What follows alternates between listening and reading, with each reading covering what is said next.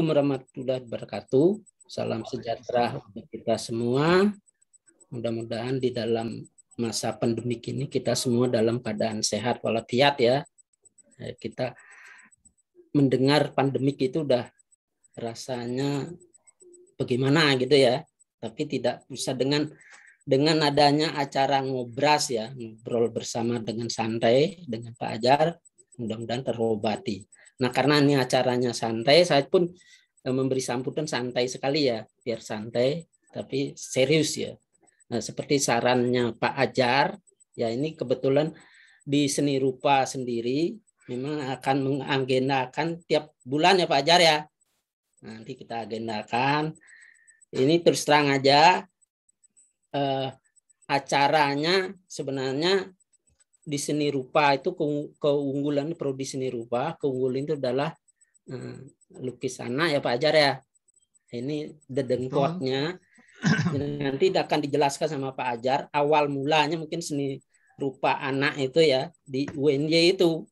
Ya makanya di prodi seni rupa kita keunggulan adalah seni rupa anak ya. Nah saya menyambut gembira sekali dengan gagasan ini ya mudah-mudahan berlangsung ya. Nah, mungkin nanti saya akan masukkan dalam apa namanya agenda dalam artian eh, dalam kurikulum ya. Kurikulum kebetulan kita sudah ada mata kuliah seni rupa anak ya. Nah, ini yang mudah sekali Bu, Bu Ulan nanti yang akan mewarisi ya, akan menindaklanjuti regenerasi ya. Ini kita juga mendapatkan dosen-dosen muda yang yang sangat-sangat ini ya, sangat apa progresif ya, yang sangat energik ya. Nah, kita kita yang tua-tua ini ya mungkin uh, menurut dengan apa pelan-pelan ya. Dalam artian nah, saya sangat salut sekali dengan gagasan Pak Ajar ya. Terus terang aja di jurusan pro, prodi seni rupa ya di jurusan seni rupa gagasan Pak Ajar itu kita sampai tidak bisa mengikuti ya karena Pak Ajar tuh jauh sekali pemikirannya ya pemikiran jauh sekali. Kita belum berpikir itu Pak Ajar sudah mempunyai gagasan-gagasan baru ya mungkin mahasiswa yang alumni ya sudah tahu bagaimana Pak Ajar itu, bagaimana gagasannya itu, bagaimana teori-teori tentang keseni rupaan. Apalagi Pak Ajar itu alumni dari Gajah Mada ya, filsafat ya. Nah, dengan filsafat-filsafat mungkin Pak Ajar eh, nanti akan mengulas lebih panjang lagi bagaimana hubungan eh, seni rupa dengan filsafat gitu ya mungkin banyak ini sangat bagus sekali sangat apa tepat sekali ya mengawali pembicara adalah Pak Ajar ya istilahnya membuka pintu gitu ya Pak Ajar ya. ini terus terang aja eh, ini pray semua ya dalam artian Pak Ajar itu dengan sukarela artinya bicara membicarakan masalah seni rupa anak ya. Ini terus terang aja saya dari jurusan memikirkan mungkin untuk bulan-bulan berikutnya kami akan pikirkan Pak. Ini sebab, sebab terus terang aja saya baru ngah gitu dalam artian, oh ternyata kekuatan kita di sini toh gitu ya. Nah inilah terbuka pikiran nanti mungkin uh, dalam rapat jurusan kita kemukakan. Uh, saya juga berkeinginan nanti ada istilahnya klinik seni seni rupa anak itu di di di prodi seni rupa gitu pak. Jurusan seni rupa. Mungkin kita uh, setelah pandemik ini ya kita pikirkan mungkin membuat apa semacam galeri kecil-kecilan apa. Nanti untuk mendiskusikan secara berkala itu membicarakan uh, seni rupa anak gitu ya.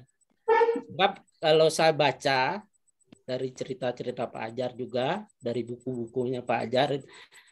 Seni rupa anak itu ada di di di UNJ ya. Seperti ada pemanya tokoh-tokoh seperti Pak Dewo Broto ya Pak ya. Itu banyak yang yang apa seperti dulu tuh ada Pak Pak Susatyo, oh. Pak Pandi gitu ya. ya. Itu banyak sekali nanti mungkin Pak Ajar yang akan mengulas lebih dalam sekali ya. Nah, mudah-mudahan para alumni mungkin para hadirin sekalian partisipasi ini uh, saya mengucapkan banyak terima kasih. Selamat bergabung ya. Semoga di diskusi ini terus berlanjut berlanjut ya mungkin bulan depan ada lagi bulan lagi. Ya saya tidak akan panjang lebar ya.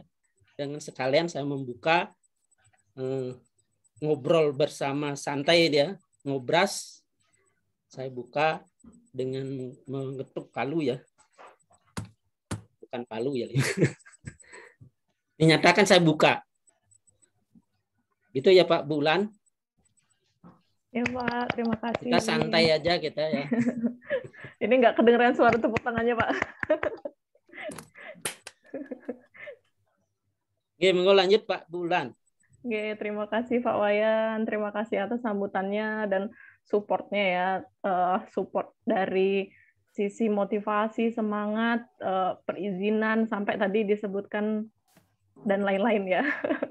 Ini katanya, mudah jangan, jangan buka apa gitu. rahasia warung, tapi beneran ya. Ini karena kita yeah. konsepnya baru rintisan. Memang rintisan itu artinya memang uh, proposal masih berjalan, jadi belum belum betul-betul masuk ke fakultas gitu ya belum uh, eh, ACC fix dari dari sejarahnya tuh belum ada gitu di catatan fakultas bahwa ini acara rutin gitu ya. Tapi harapannya adalah kita akan menuju ke sana gitu. Dan rintisan inilah harapannya Bapak Ibu yang menjadi peserta pada hari ini akan memberikan support juga gitu ya. Karena uh, konsep kita akan membuat klinik gitu ya. Klinik itu artinya uh, respon itu tidak berupa uh, tidak hanya berupa materi, tidak hanya berupa konsep-konsep teoritis yang akan disajikan oleh tim dari jurusan atau prodi pendidikan seni rupa, namun juga ada timbal balik gitu dari peserta ya, boleh berupa hmm. pertanyaan, konsultasi, masukan dan seterusnya gitu ya. Jadi kita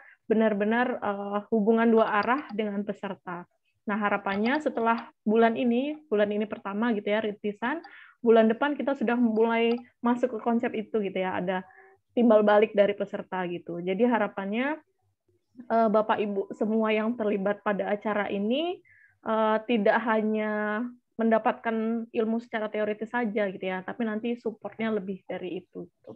Ya konsepnya klinik dan harapannya ya tidak sekedar untuk mengejar 32 JP 32 JP untuk kum gitu ya, tapi di, lebih dari itu karena uh, langsung saja masuk ke materi gitu ya. Kita menghadapi periode yang sangat genting gitu ya. Dulu kita Maret itu tiba-tiba harus lockdown, harus uh, berubah menjadi sangat apa ya adaptif terhadap pembelajaran daring gitu ya. Awalnya kita bebas berkarya di mana pun berinteraksi di mana pun tiba-tiba kita harus terkurung dalam rumah. Di mana terkurung di dalam rumah itu tidak kita sendirian gitu ya tapi kita bersama keluarga kita bersama anak-anak kita gitu. Bersama anak-anak kita ini yang di usia mereka sesungguhnya masih perlu untuk belajar tentang dunia luar gitu ya. Mereka masih butuh sekolah, mereka masih masih perlu eksplorasi. Dulu kalau kita membahas tentang kreativitas itu kita bicara tentang museum, galeri, kita bicara tentang apa ya? Eh, situs sejarah yang itu di luar semua gitu ya. Tapi sekarang otomatis teman-teman eh, Bapak Ibu semua harus menghadapi eh, dunia digital yang full daring gitu ya, di mana kita setiap mau belajar itu pikirannya bukan keluar rumah bagaimana, tapi bagaimana kita menggunakan media daring. Dan ini tantangannya sangat berat gitu ya. Uh, kita harapannya adalah kita tidak ingin membuat anak-anak kita generasi yang mengalami tahun-tahun berat ini justru hancur apa ya terbunuh gitu kreativitasnya gitu ya. Lalu inilah yang membuat kita berpikir bagaimana cara kita agar anak-anak kita ini tetap mendapatkan hak-haknya untuk menjadi kreatif. Karena kita percaya kreativitas itu bukan hanya dimiliki atau oleh orang-orang tertentu saja ya bukan gifted gitu ya bukan bakat aja. Tapi semua anak tuh punya hak untuk menjadi kreatif.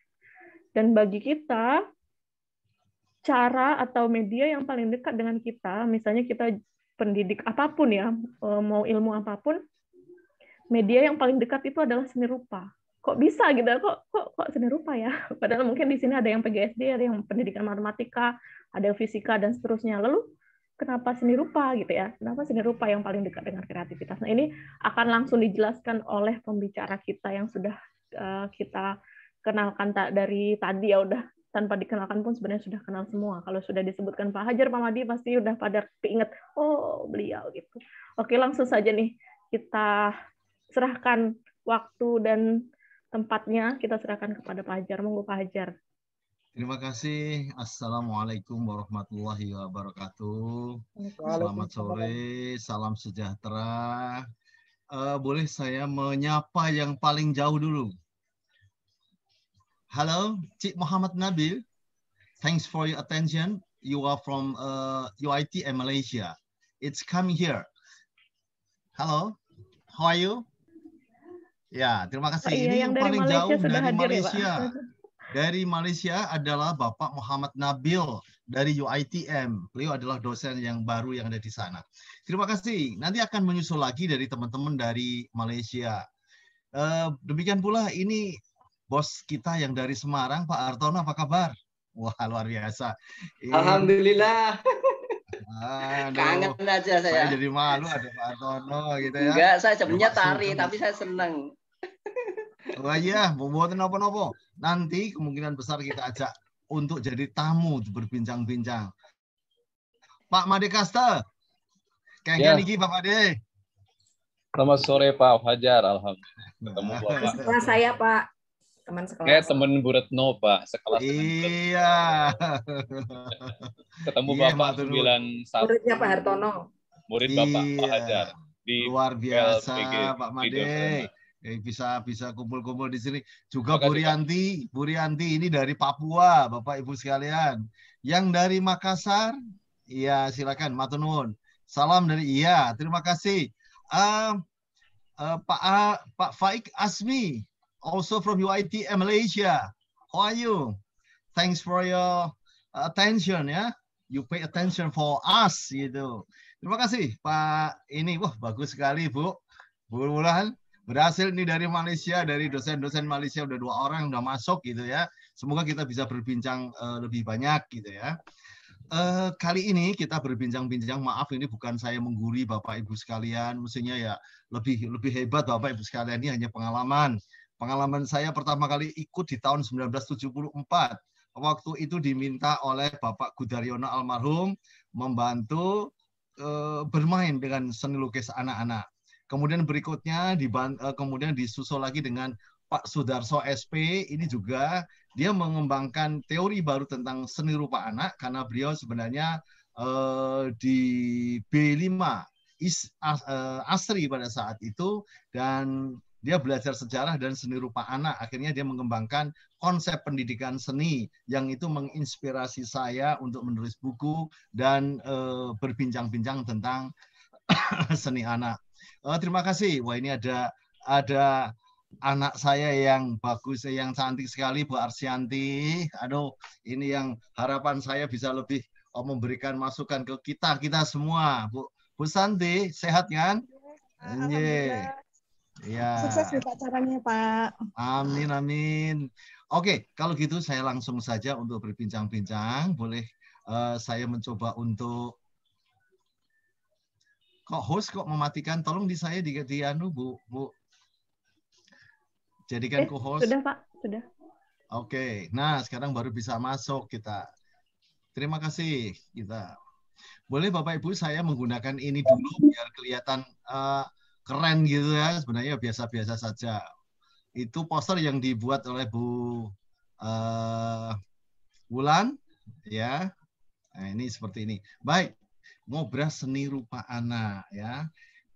Itu istilah itu dari ngobrol bersama atau ngobrol bareng gitu dengan santai gitu kan itu. Jadi kita santai aja nanti mau bicara apa dan sebagainya. Tapi yang jelas kita mencoba untuk mengisi. Nah, dalam tampilan ini saya ingin membahas ya tentang kreativitas mengapa harus dimajukan pada saat ini ya. Karena ini sangat penting sekali bicara-bicara tentang wah kita harus kreatif ya seperti apa gitu ya. Lalu seni rupa anak itu apa? Itu Pak Wayan tadi eh, mencari garapan saya untuk bisa bicara. Lalu bagaimana peran berseni rupa menggarap kreativitas? Jadi ada tiga yang harus kita bicarakan. Uh, saya lebih lebih banyak pada hal yang umum saja. Ya ada sedikit teori yang saya sampaikan biar kelihatan keren kalau ini dosen gitu loh. Tapi sebenarnya oh semua bapak ibu udah tahu semua gitu kan. Oh, nggak enak gitu kan ya. Oke.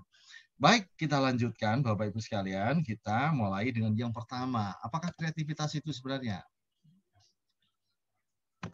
Oh, kok nggak bisa? Oke. Okay. Oke, okay, kembali lagi. Ya, saya sedikit aja untuk bincang-bincang.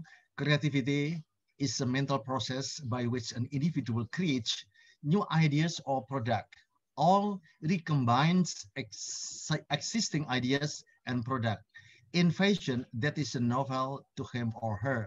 Jadi, jadi intinya bahwa kreativitas itu untuk membangun sesuatu yang baru, mengajarkan sesuatu yang baru, ya dari situ.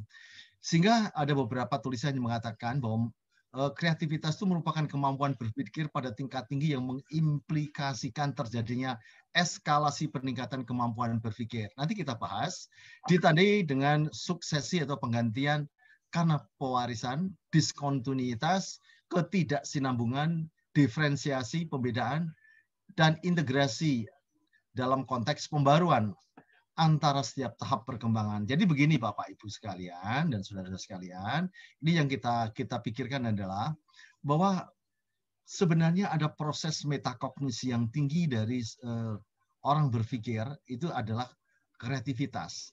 Orang yang mencoba untuk berpikir metakognisi, jadi kata metakognisi itu dari kata meta, dari kata meeta ya. Jadi meeta itu adalah berpikir sebelum dan sesudahnya. Jadi kalau kita sering begitu akan kita menemukan eh, hal-hal yang lebih uh, matang untuk kita berpikir. Nah, sedang uh, sebenarnya kreativitas itu berpikir yang sangat kompleks.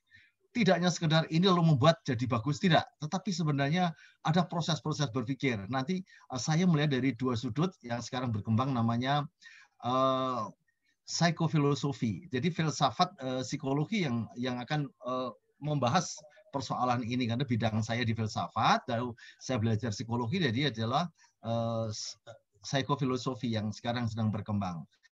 Begini, jadi kalau kita eh, melihat orang yang kreatif itu sebenarnya otaknya itu ke mana-mana. Jadi nanti kalau oh, begini lalu berkembang menjadi ini, ini bisa seperti ini. Nah, kalau seandainya anak-anak itu diajari itu, di dalam proses disrupsi sekarang ini, dia nanti kalau keluar, kreativitasnya akan muncul. Nah, nanti kita lihat apa yang terjadi pada konsep kreativitas. Kreativitas itu memberikan kita tidak mandek berpikir. Kreativitas itu selalu lentur cara berpikirnya. Tidak kaku, kalau tidak ini tidak, kalau ini tidak. Tapi bagaimana untuk mencari solusi. Kadang-kadang pemikirannya adalah benar, tapi disalahkan. Tapi dia diam. Kemudian menunjukkan sesuatu. Sehingga menjadi sesuatu itu yang benar. Nah, orang yang tadi membahas jadi kaget oh ya benar Anda. Jadi konsep orang kreatif itu orang yang tidak kaku. Apa pun yang itu diterima, diam. Kalau itu baru ditabuh itu nanti baru uh, muncul ide-idenya. Jadi dengan demikian kreativitas ini uh, merupakan pengalaman mengekspresikan dan mengaktualisasikan identitas individu dalam bentuk terpadu antara hubungan diri sendiri, alam, dan orang lain. Nah, kaitannya dengan seni rupa, kreativitas atau seni, ya ini Pak Hartono ada, adalah bagaimana itu di, diungkapkan di dalam sebuah karya seni. Ini adalah sebuah kreativitas. Nah, itulah yang menjadi dasar saya berpikir. Nah, kita ambil lagi eh, beberapa pendapat ya, Bapak Ibu sekalian. Ya, kreativitas adalah kemampuan untuk menciptakan sesuatu yang baru eh, sebagai penemuan atau dengan menghubungkan sesuatu yang sudah ada dan membuat sesuatu menjadi baru. Ya, jadi kalau uh, Mortimer Leach itu etok-etoknya ini agak ilmiah sedikit, itu mengatakan uh, can create the object. The other itu adalah uh, bagaimana apa namanya mengungkapkan ide gagasan dan yang satu lagi adalah mengkreasi suatu uh, objek gitu ya. Nah, satu contoh idenya bermacam-macam. Kalau di sebelah kiri ini ini pernah dilakukan oleh Bu Arsianti Bu Santi tidak usah eh, eh, mengelak. Ini pernah dilakukan. Ini pada waktu itu di Karta Pustaka saya mencoba melukis bersama. Ya, melukis bersama ini tidak setara 100% mereka duduk di situ. Ketika 20 menit anak-anak kita minta untuk bergeser. Di dalam proses mengapresiasi karya seni, lah inilah anak-anak belajar dengan temannya sendiri. Bagi anak-anak yang kaku, tidak kreatif, dia mengatakan, nggak mau, itu bukan milik saya, itu bukan karya saya. Ternyata kreativitas itu akan dimunculkan dengan uh, mereka itu bergeser. Orang yang pintar menanyakan, ini kamu gambar apa sih? Ya, jadi teman yang tadi kegeser itu mengatakan, oh aku membuat gini, tak tambahi lagi ya. Akhirnya berkembanglah. Jadi ada kalau di uh, eh, PGSD itu kan ini ada kecakapan sosial akan muncul saat ini. Nah inilah seni itu bisa membangun kreativitas dalam hal sosial juga. Jadi tidak hanya uh, apa namanya uh, dalam karya seni rupa memang ini seni rupa alat atau medianya atau wahana, tetapi tujuannya adalah mengembangkan kreativitas di dalam kecakapan sosial. Ini luar biasa kan? Begitu. Nah berikutnya berseni melatih dan membantu menemukan yang baru. Jadi uh, ide yang di atas, pendapat di atas itu seperti ini. Sehingga kreativitas dapat dilatihkan dari melihat, mengamati, memilih, menyimpulkan, memecahkan persoalan bentuk, teknik, dan uh, ide. Ini konsep awal dari uh, saya akan berbicara banyak. Kita lanjut lagi. Nah, apa yang terjadi dalam orang yang berpikir kreatif? Orang yang berpikir kreatif itu adalah fluency of thinking. Jadi kelancaran berpikir itu ada. Kenapa? Dia tidak mandek, dia tidak berhenti hanya karena permasalahan satu lalu mereka berhenti, oh sudahlah, saya nggak mau. Nah, artinya dalam bahasa Jawanya namanya mutung atau apa namanya eh, putus asa begitu. Tidak, tapi langsung berkembang. Yang kedua adalah berpikir luas atau keluasan berpikir adalah flexibility. Nah, ini yang berikutnya adalah mengelaborasi pikiran. Jadi orang-orang itu bisa pendapatnya apa, kemudian kita coba untuk uh, apa namanya mencari titik yang sesungguhnya apa pikiran mereka itu. Kalau orang-orang yang kreatif bisa menebak mereka akan berpikir seperti apa. Nah, keaslian berpikir originality. Nah, di sinilah konsep ini keempat ini akan dilatihkan melalui berkarya seni. Nanti uh, akan kita sampaikan seperti itu. Namun uh, untuk tatap muka kali ini kita berbincang-bincang ini cukup kita secara teoritik. Tapi untuk minggu depan ada Pak Bambang, ada Putri, karena mereka dokter-dokter uh, seni anak kan banyak sekali. Nah, nanti akan kita sampaikan secara praktis itu seperti apa. Walaupun saya juga akan membahas uh, practicalnya seperti apa. Ini saya ambil dari Stanford. Selanjutnya adalah sebegini. Bagaimana dengan lukisan anak? saya ngambil Person tahun 1998 eh, menjelaskan dua isu penting anak dalam perkembangan seni. Pertama, adalah pentingnya masalah sosial. Benar, karena anak itu sebenarnya kalau mereka bisa bergaul dengan yang lain, akan menemukan ide-ide tidak hanya pada orang dari orang tua, guru, tapi juga temannya. Ini lebih hebat. Ya. Uh, pada proses dan isinya sebuah pandangan yang konstruktif secara sosial menekankan proses seni daripada produk seni. Ada suatu konsep ini. Nah, jadi nanti kita lihat bahwa begitu seni anak itu luar biasa ide-idenya, maka ada dua pendapat. Satu pendapat yang namanya pendapat kaum esensialis. Mengatakan, wah ada hubungannya berseni dengan uh, anak itu. Sudahlah seni ya seni. Manfaatnya, lo udah pokoknya berkarya seni dapat karya uh, bisa baik atau bagus. Nah, ini adalah kaum-kaum esensialis ber, berpendapat seperti itu. Yang kedua adalah kaum pragmatis. Kaum pragmatis mengatakan bahwa seni itu bisa dimanfaatkan dengan adanya kemampuan seni bisa mengajarkan anak eh, kreatif, maka akan kita eh, manfaatkan untuk pendidikan. Misalnya ketertarikan pada anak-anak. Ya, ini orang-orang esensialis eh, begini ya, agar mampu memahami anak dalam tingkat kemampuannya sendiri. Karena anak itu bukan orang dewasa dalam artian kecil, tapi orang muda, orang belia yang mereka pikirannya berbeda dengan orang tua. Walaupun sistem berpikir kadang-kadang sama antara orang tua dan anak. Inilah konsep-konsepnya. Orang tua mampu mengetahui seni atau menginterpretasi karya seni anak. Inilah pentingnya seorang ibu. Mestinya ini juga akan di apa namanya di dipahami oleh ibu-ibu juga atau bapak-bapak ya boleh juga karena memang seni itu akan membantu perkembangan anak gitu ya satu lagi kita minta eh, ini adalah kata-kata dari eh, Leonardo da Vinci mengumpulkan bahwa art is never finished, only abandoned. Jadi bagi anak berseni itu sebuah komunikasi visual, maka sesuatu ketika akan bicara lagi karena tidak akan habis. Sini anak, coba kita lihat gambar yang di bawah ini ya. Kita lihat ya gambar di bawah ini. Bapak Ibu ini gambar apa? Nah, kan ya. Anak-anak itu hari ini selesai menggambar. Suatu ketika datang lagi, gambar itu lagi. Karena dianggap belum selesai mikirnya. Tapi orang tua mengatakan, wah so apa gambar itu terus. Tapi ternyata anak-anak itu di dalam berpikir untuk menyempurnakan yang lalu. Memang kalau terus-menerus itu tidak bisa berhenti, itu namanya stereotype. Minggu depan, insya Allah, bulan depan, insya Allah kita berbincang tentang karakteristik anak. Yang stereotype itu seperti apa. Bagaimana? Karena stereotype itu bukan hanya dibangun karena anak sendiri, kemungkinan lingkungan, kemungkinan orang tua yang mempengaruhi, sehingga terjadi stereotype tidak boleh berkembang yang lain. Akhirnya apa-apa ya itu terus sekali itu. Tetapi juga ada suatu ketika Bapak Ibu sekalian akan menemukan suatu ceria yang luar biasa. Setiap hari anak itu hanya menggambar balon terus. Kalau setelah dia angkat balon lagi dan itu pengalaman saya sejak dulu itu demikian. Balon lagi, dimarahi lagi. Kebetulan orang tuanya juga datang mengatakan, kamu itu gambarnya cuma itu aja. Nah akhirnya setelah saya tanya, kenapa?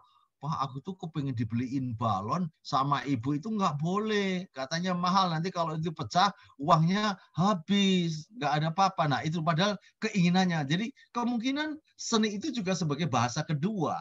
Ingin sesuatu itu mau disampaikan ke sana. Lah ini anak-anak itu seperti itu. Ya, Bapak-Ibu sekalian. Nah, kita lihat lagi cerita yang berikutnya. Nah, ini adalah pendapat dari orang yang hebat ya. Ini adalah Edgar Degas dalam lukisannya yang impresionis, luar biasa kan? Painting is easy when you don't know how. Gambar itu gampang ya. Kalau kita tidak tahu apa-apa gambar, oh, oh cuma kayak gitu aja gitu ya. But every difficult when you do.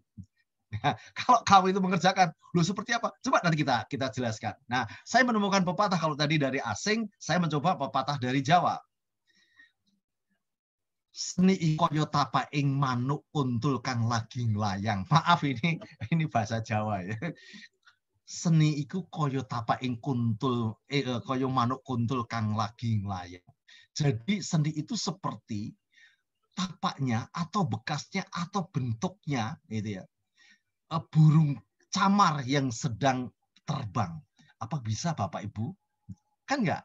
Tetapi kita bisa berimajinasi ketika camar itu terbang, konsepnya seperti itu.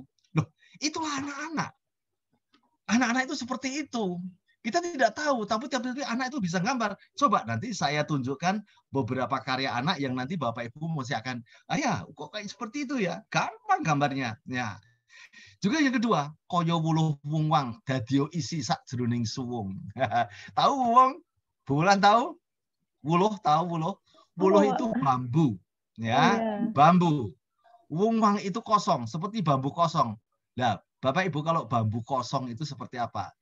Kalau dibunyi tuk tuk tuk gitu kan, tidak punya apa-apa, cuma uh, buntet gitu aja, semua tidak pernah ada apa-apanya. Dadio isi sak jeling suwung. Jadi isi dari lukisan anak-anak itu gagasannya seperti isi dalam oh, bambu tadi. Nah, fungsinya orang tua, fungsinya guru itu adalah mencoba membuka sedikit bambu tadi menjadi kalau dalam orang Jawa zaman dulu ada kentongan, jadi di lubang sedikit kotak. Nanti kalau dipukul pasti bunyinya luar biasa. Itulah seni. Makanya kalau kita ini melatih dengan kreativitas yang ada, nanti bunyi itu akan muncul. Dan bunyi itu dipukul dari sana, dari pucuk, kemudian yang ujung sampai di tengah, kemudian di pinggir dipegang sedikit, dia akan menghasilkan bentuk uh, suara yang bermacam-macam. Itulah sebuah pepatah Jawa yang kita anggap itu ya. Jadi kalau boleh, jadilah isi sak jeruning suwung tadi. Sebenarnya kosongnya anak-anak, kalau dilihat dari Bapak Ibu sekalian, itu kosong. Orang gambar kayak gitu ngapain sih Pak Ajar? Kita pikirkan eh, banget banget itu. Eh jangan seperti itu. Sebenarnya kalau kita lihat apa yang ada di pikiran anak, nanti kita baca. Mungkin gambar anak juga seperti itu ya Bapak Ibu sekalian. Nah ini satu contoh. Ya. Kait kita kaitkan. Bapak Ibu, saya punya gambar. Aneh kan Bapak Ibu? Nah, gampang ya Pak Hartono ya, gambar ya. Eh, gambar kayak gitu gampang. Tetapi untuk memproses ini anak itu sulit sekali. Orang tua tidak paham. Boleh, ini biasanya kalau kuliah saya ini saya tampilkan begitu ya. Ya. Ini saya tampilkan. Ini gambar apa sih? Bapak Ibu, sekilas hanya gambar uh, perahu dengan matahari. Tapi apa yang diceritakan oleh anak ini? Nah, kalau kita lihat dari teori filsafat, ini mempunyai ruang dan waktu. Ruangnya ini di mana Bapak, Ibu sekalian? Ini di laut. Laut itu luas sekali. Dan dia tidak akan sampai-sampai seperti itu. Sehingga dua gambar yang muncul. Satu awan yang gelap, satu matahari. Kalau orang berpikir, nggak akan seperti itu orang tua. Kalau tidak memahami filosofi ruang pada anak. Dia akan mengatakan dua ruang dan tiga ruang akan sekaligus hadir di sini. Adalah ruang malam dan ruang siang. Siang digambarkan dengan matahari terbit, malam dengan kegelapan tadi, awan yang gelap tadi. Jadi mereka berlayar dari pagi sampai sore sampai dengan malam. Itulah pikiran anak yang baru kita baca. Makanya seperti wuluh wungwang kalau kita tidak mau membaca, wah kayak gitu aja gampang. Kata Edgar Degas mengatakan, wow gambar anak itu gampang. Nek kalau tidak mengerti. Kalau mengerti ternyata isi dari lukisan anak-anak itu betapa hebatnya. Ini dia Bapak Ibu sekalian. Ini yang kita pahami bahwa anak-anak itu menggambar akhirnya menggambar itu bukan apa yang dia lihat. Anak-anak menggambar itu bukan apa yang dia lihat, tapi apa yang dia pahami. Wah, kan ini. Filsafat sekali ya. Anak-anak menggambar bukan apa yang dia lihat, tapi apa yang dia pahami. Maka suatu ketika putra ibu dan bapak sekalian, murid ibu dan bapak sekalian itu melihat seorang anak itu menggambar kursi seperti angka empat terbalik. Padahal di depannya diminta menggambar kursi dengan lengkap atau kursi yang tidak punya kaki. Tapi dia menggambarnya justru angka empat terbalik. Karena apa? Yang dia pahami kursi itu kalau itu frontal bentuknya seperti angka empat terbalik. Lalu itulah yang dijadikan konsep awal untuk menemukan. Inilah anak-anak. Berbeda dengan orang tua, apa yang dia alami seperti itu. Karena Aristoteles pernah berperang dengan Plato untuk berpendapat tentang seni ini. Kalau Plato mengatakan seni yang bagus adalah seni yang realistis, ya yang asli, yang naturalis. Makanya ada suatu pepatah mengatakan ars imitatur naturam, bahwa seni itu adalah tiruan dari alam persis. Kalau tidak seperti itu tidak ada. Makanya pada waktu itu dia contohkan eh, pohon anggur dengan lukisan anggur disejajarkan di bawahnya. Mengapa burung itu memilih lukisan untuk dipatuk, bukan burung anggurnya. Itulah dikatakan oleh eh, Plato pada saat itu, lukisan yang bagus adalah lukisan yang realistis, gitu kan? Nah, itu dalam perkembangan selanjutnya Aristoteles menolak pendapat dari Plato mengatakan, ah kalau cuma realistis untuk apa? Foto itu lebih bagus. Kenapa harus melukis gitu? Nah, Plato uh, Aristoteles mengatakan di dalam melukis itu ada rasa yang ditampilkan. Tidak hanya pikiran, tidak hanya teknik, tetapi rasa yang ditampilkan. Maka Aristoteles mengatakan di balik lukisan itu ada sesuatu yang misterius. Nah, inilah ya. Jadi ini yang menjadi uh, tanda tanya kita itu seperti apa sebenarnya. Nah, makanya saya katakan anak ini berbicara apa? Ini kan gitu kan? Nah, baik Bapak Ibu sekalian, ini adalah beberapa contoh karena saya tidak akan teoritis banget nanti eh, kita coba untuk uh, banyak berdiskusi gitu ya. Karena ini kan ngobrol bareng gitu ya. Siapa yang punya pendapat, monggo silakan gitu ya Bu Wulan ya. Tidaknya saya gitu ya. Baik, kita lanjutkan dulu. Bapak Ibu, kalau begini seperti apa? Port Orange. Coba bayangin. Bisa nggak Bapak Ibu memikirkan ini ketika mau menggambar? Nggak ada. Jangan melihat karakteristik, jangan jelek baiknya bentuk anak-anak itu tidak berpikir itu. Nah, kadang-kadang ketika lomba itu ada, lomba seni lukis anak itu hadir, yang dibuat adalah kemiripan, ketepatan bentuk. Inilah yang kadang-kadang membuat anak-anak yang berpikir komikus seperti ini mundur dari lomba. Padahal ini otaknya luar biasa. Komplit yang di, akan digambarkan oleh anak-anak ini. Ini yang tidak pernah uh, apa namanya uh, hadir di dalam pemikiran-pemikiran orang tua. Makanya kadang-kadang kalau kursus pun juga demikian. Kalau kursus yang itu membahayakan pada anak-anak, justru menjadi anak itu pengikut guru, bukan anak mempunyai konsep kreativitas. Kreatif sekali ini akan berbicara saya akan ke sana naik perahu. Dia tidak bisa perahu yang seperti apa, bentuknya seperti itu. Tanda-tanda perahu, perahu bermotor atau perahu besar, oh nggak tahu. Inilah konsep untuk bisa berpikir. Dia membawa membawa kucing. Jangan dikatakan kucing seperti wah bentuknya. Nah, ini ada suatu simbol-simbol. Nanti kita jelaskan jika ada waktu, nanti kita jelaskan lagi. Baik, kita lanjutkan. Berikutnya, ada lagi bentuk-bentuk yang aneh lagi. Kita lihat. Nah, anak-anak itu bersifat egosentris ya. Makanya kalau ke, ketika kita nonton seperti ini, dikatakan oleh Jackson Pollock ya, painting is self discovery. Jadi untuk mengungkapkan dirinya sendiri. Every good artist paint what he is. Sebenarnya dia itu siapa? Makanya dia ingin berbicara seperti ini gitu ya. Me, Daddy, Yenika, kakaknya, Mommy adalah ibunya. Digambarkan. Karena itu nanti akan kita bahas dalam karakteristik mungkin tidak hari ini ya hari ini panjang sekali kan teori-teorinya banyak sekali. Tapi ini yang kita kita kita garap ya seperti apa lu lukisan anak? Dengan sifat egosentris ini biasanya anak menggambarkan dengan pusat dirinya. Aku ini ibuku. He is my daddy. He is my she is my sister Nah, ini ini ini ini ini ini di, diungkapkan dan kata-kata dari Jackson Pollock itu bagus sekali ya. Kayak gini ya. Begitu Bapak Ibu sekalian. Ini kan aneh sekali eh, gambar-gambar anak-anak yang seperti ini. Nah, ini kreativitasnya muncul sekali karena dia ingin mengutarakan A tapi dia belum belum tahu. Di dalam teori perkembangan seni rupa anak, seni lukis anak, ini pada taraf eh, apa namanya? Eh, bone the bone man jadi manusia tulang. Jadi mereka membuat uh, gambarnya hanya seperti tulang-tulang. Ya, jadi ini tulang-tulang itu ya. Jadi namanya The Bone Man. Itu pada masa krisis uh, usia 2 sampai dengan 3 tahun. Itu anak-anak pada scribble line uh, stage itu adalah bentuknya uh, lukisan anak-anak seperti ini. Begitu Bapak Ibu kita lanjut lagi. Kalau ya belum uh, apa namanya jenuh, kita lanjut lagi ya. Oke, kita lanjut. Nah, uh, apakah ada anaknya yang uh, hadir sekali ini? Ini adalah karya Hira, usia tujuh tahun. Tiba-tiba menelpon saya dan dikenalkan dengan saya oleh Bu Mun, istrinya Pak uh, Cuk Sahana. Bapak Ibu, ini adalah empati anak kepada seseorang. Yang Cuk cepat sembuh ya, semangat. Tapi akhirnya Pak Cuk Sahana ini uh, meninggalkan kita, meninggal dan dikebumikan di daerah uh, uh, Kalasan Prambanan sana.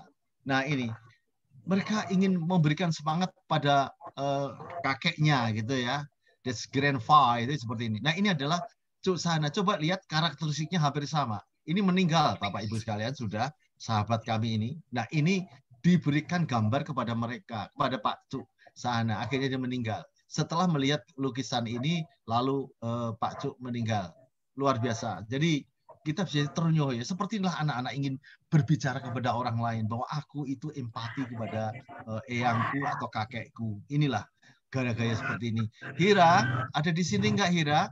Terima kasih kiriman lukisannya. Karena kami akan membuat sebuah klinik, nanti Bapak Ibu bisa mengirimkan lukisan dan kita nanti akan kita bahas sejauh mana dan ini anak sangat bebas sekali. Hira ini memang hebat sekali. Uh, kreatif banget kemudian ini bisa me, me, me, apa, uh, menimbulkan menciptakan karya ini ini berkat ibunya juga membebaskan anak itu berkarya nanti anak-anak yang berkaryanya terlalu dihambat oleh orang tua akan berbeda mestinya Daiwa ya Bu yang masuk kecil itu mau kita ambil dulu fotonya hilang ya Bu Santi itu tak golek ora ono itu ya udah. Nah, ini Bapak Ibu sekalian, ini adalah beberapa contoh bahwa anak itu ingin berempati kepada orang lain sebagai bahasa kedua anak. Ingin mengucapkan, tidak hanya orang tua. Karena ini memang lockdown tidak boleh dijenguk, maka dia mengirimkan gambar ini kepada eh, Pak Cuk Sahana. Dan ini dalam bentuk hanya di foto. Nah, kemudian dikirimkan ke saya. Luar biasa. Betapa anak itu berpikirnya luar biasa seperti ini. Jadi jangan dipaksa-paksa menggambar, tapi jangan dipaksa-paksa untuk mengikuti pikiran orang tua. Anak kalau dibiarkan akan berkembang sendiri seperti ini. Begitu ya Bapak Ibu sekalian. Kita lihat berikutnya. Mas Tejo, terima kasih. Ini adalah kiriman dari Mas Tejo. Luar biasa. Anak-anak menggambar dengan eh, menempel dan menggambar menambahkan konsep ini luar biasa gitu ya. Karena dikatakan bahwa anak-anak itu punya visioner yang luar biasa ya. Ini adalah coba ini uh, kita lihat ya. Ini adalah uh, gaya-gaya anak. Kadang-kadang kadang-kadang anak-anak itu di luar pikiran manusia. Wah, luar biasa sampai ke sini, sampai begini. Nah, inilah luar biasa. Kemudian berikutnya kita lihat lagi. Nah, oh, sebentar, ada ada catatannya. Nah, Andrew Loomis yang pernah menulis buku tentang eh, apa namanya eh, menggambar bentuk nah, ini mengatakan drawing is vision on paper. Jadi gambaran ke depan visinya luar biasa anak-anak itu. Dia gambar seperti ini, seperti ini, seperti ini. Nah ini Bapak Ibu sekalian, kadang-kadang kita tidak bisa eh, apa namanya menebak ya. Ternyata pikiran anak luar biasa seperti ini Bapak Ibu sekalian. Ya, oke, Bapak Ibu kita lanjut lagi supaya kita bisa berbincang-bincang banyak. Nah, nanti kalau gambar-gambar selesai, nanti kita selesaikan. Nah, Mas Tejo, terima kasih juga. Ini adalah gambar anak autis.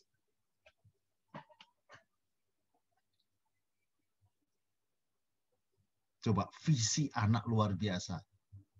Bisa mengungkapkan kehebatan seperti ini. Dia tidak mencontoh. Dia benar-benar berekspresi benar-benar luar biasa seperti ini. Nah, kadang-kadang kalau guru yang tidak paham, wah, kok gambar kok seperti ini ruwet. Nah, nanti ada gambar-gambar yang aneh lagi Bapak Ibu sekalian yang akan kita sampaikan kepada Bapak Ibu sekalian. Inilah anak itu dalam berpikir itu eh, visioner sekali. Sekaligus dia mengambil eh, materi yang ada, tetapi juga dia kembangkan. Inilah kreativitas. Apa yang harus diharapkan pada anak-anak? Nah, orang tua itu jangan banyak melarang dan jangan banyak memberikan contoh, tapi diberi contoh juga boleh.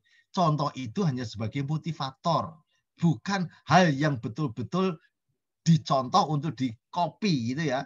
Ini adalah contoh gambar, tapi bukan berarti harus dikopi ya. Disebut dengan uh, copier method itu metode mengcopy itu copier method itu ya dalam bahasa Belandanya namanya copier method kadang-kadang guru-guru demikian, apalagi diperparah nanti. Anak-anak yang gambar itu mulai dari ini, dikembangkan ini, harus seperti ini. Saya melihat ada beberapa kursus yang orientasinya pada uh, hasil, tidak pada proses. Ini berpikirnya luar biasa. ya Baik, nanti uh, kita teruskan kalau ada pertanyaan, mengapa demikian. Baik, kita lanjutkan. ya Oke, seperti apa? Bapak Ibu, painting from nature is not copying the object it is realizing uh, apa namanya uh, one sensation seperti ini Bapak Ibu sekalian. Coba dipresani Bapak, dilihat betul, diamati betul. Lukisan ini bukan lukisan tidak jadi. Lukisan ini sudah jadi.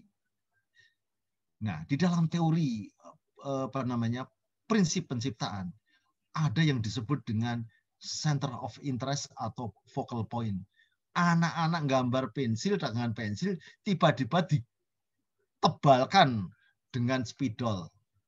Ini kalau orang tua tidak ngerti, wah ngawur, bagus-bagus seperti ini, oh, ditambahi seperti ini. Tidak Bapak Ibu sekalian, ini yang disebut dengan teori yang sesungguhnya di dalam karya seni adalah pencapaian yang disebut dengan focal point. Poinnya di mana? Itu bentuk-bentuk itu sebagai tanda.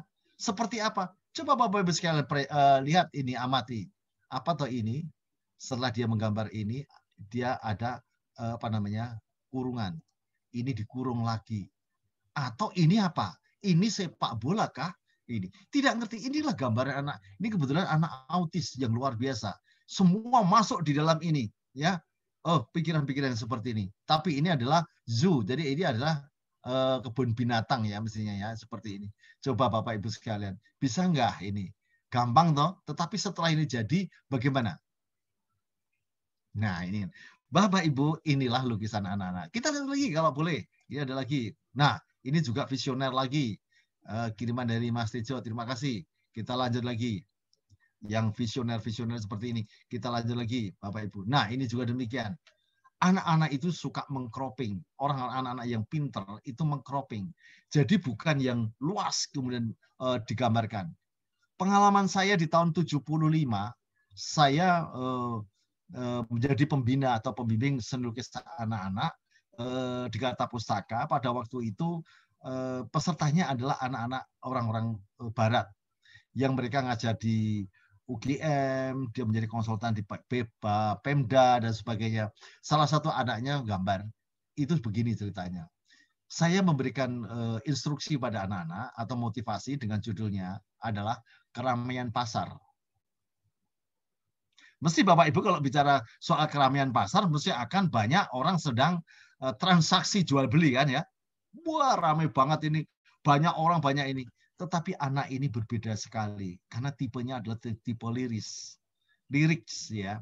Jadi mereka akan berbeda dengan teman-temannya yang lain. Dia menggambar keramian pasar hanya satu telur. Setelah dikumpulkan, tahu ibunya hadir, marah-marah. Bukan main. Kamu itu loh ya, diminta gambar keramian pasar kok hanya satu telur. Hampir dimarahi berkali-kali. Apa yang terjadi? Sudah Bu, minggir, ganti saya yang akan membinakan, dipasrahkan dengan saya. Saya coba bertanya, nah ini apa? Telur. Lu kok telurnya satu? Kamu tadi makan telur, saya, saya pancing begitu. Enggak. Tadi aku di pasar. Loh, di pasar beli telur? Enggak. Itu telur itu tak pecah. Nah, kalau telur satu dipecah nggak apa-apa. Enggak. Akhirnya satu tempat ini satu kotak ya kalau sekarang satu kotak kalau satu tampah gitu satu eh, tempat itu. Karena dia minta balon tidak diperbolehkan oleh pembantunya. Dia marah dengan pembantunya. Apa yang dia lakukan?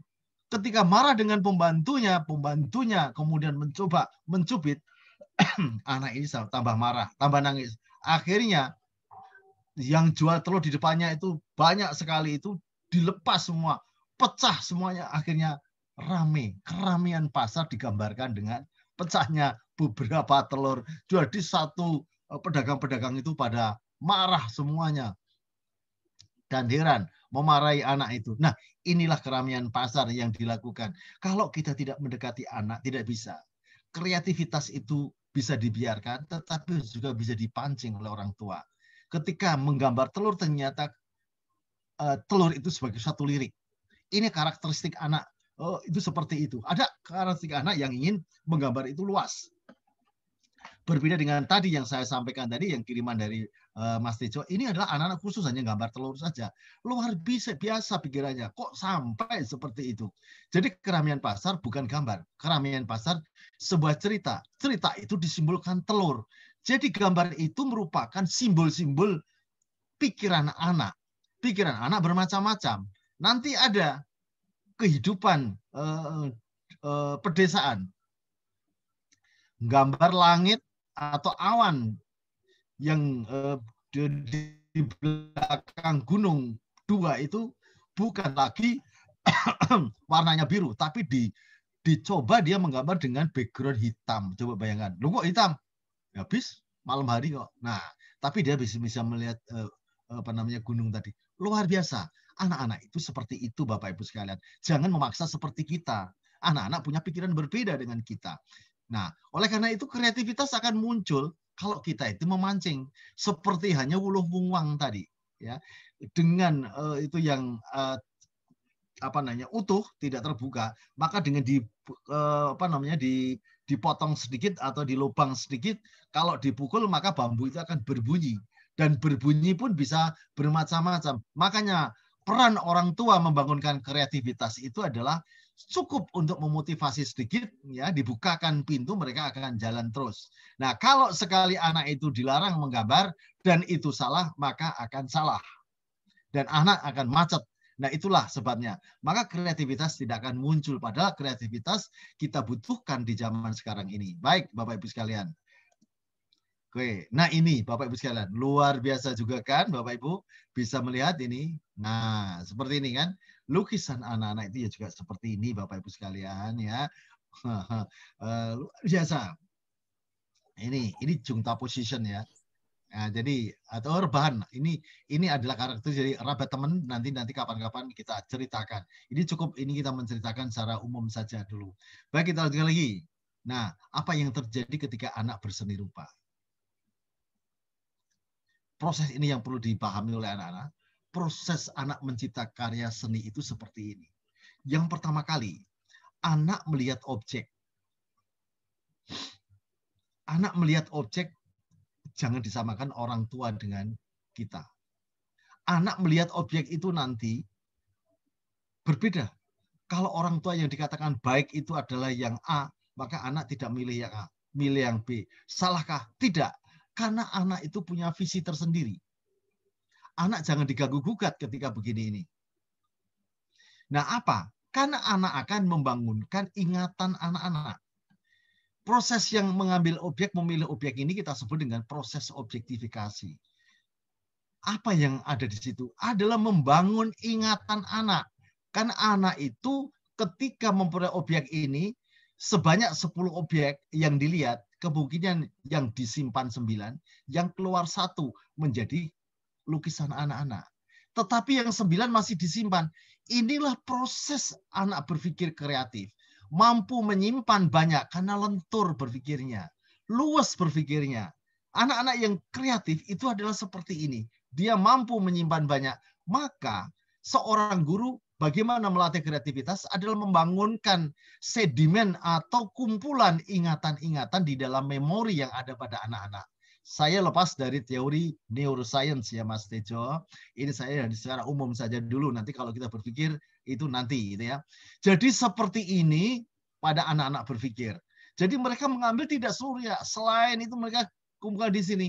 Nah, nanti suatu ketika guru akan memancing anak akan muncul lagi dari sembilan tadi yang disimpan akan muncul dua apa tiga yang akan muncul bentuk-bentuk itu. Kadang-kadang objek itu bentuk objek material yang bisa dilihat oleh mata, tetapi juga uh, yang tidak dilihat oleh mata seperti hanya Hira tadi untuk menggambar eyangnya atau kakeknya yang sedang sakit, itu dia tahu bahwa kakeknya sedang menderita sakit. Yang digambar adalah sakit. Karena punya ingatan kacamatanya seperti itu, eh, rambutnya kakeknya seperti itu, itulah yang dihadirkan. Ini yang ingatan-ingatan inilah yang harus kita bangun untuk menumbuhkan kreativitas. Jarang sekali orang berpikir seperti ini maka guru-guru sebaiknya apalagi pada tingkat anak-anak seperti ini.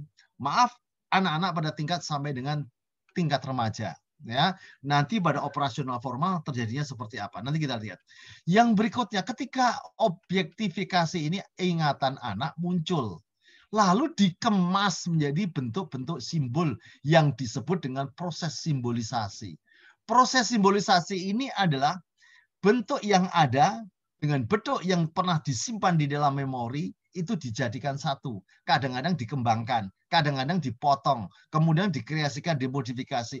Inilah proses mengasosiasikan, menjadikan timbulnya bentuk-bentuk itu menjadi sebuah simbol-simbol baru. Inilah yang kita sebut dengan proses metakognisi, Bapak Ibu sekalian. Proses yang tidak bisa diukur oleh manusia. Makanya kalau orang mengatakan, ah, gambar anak gambar itu ya kayak gitu, kata Itsgadega, betul gambar itu hanya seperti itu. Tapi kalau kita lihat, kita kupas cara berpikir anak untuk menciptakan karya seni, ada proses metakognisi yang luar biasa. Yang anak-anak itu tidak seperti orang tua, bisa menggambarkan lengkap atau juga justru sedikit tapi punya makna banyak.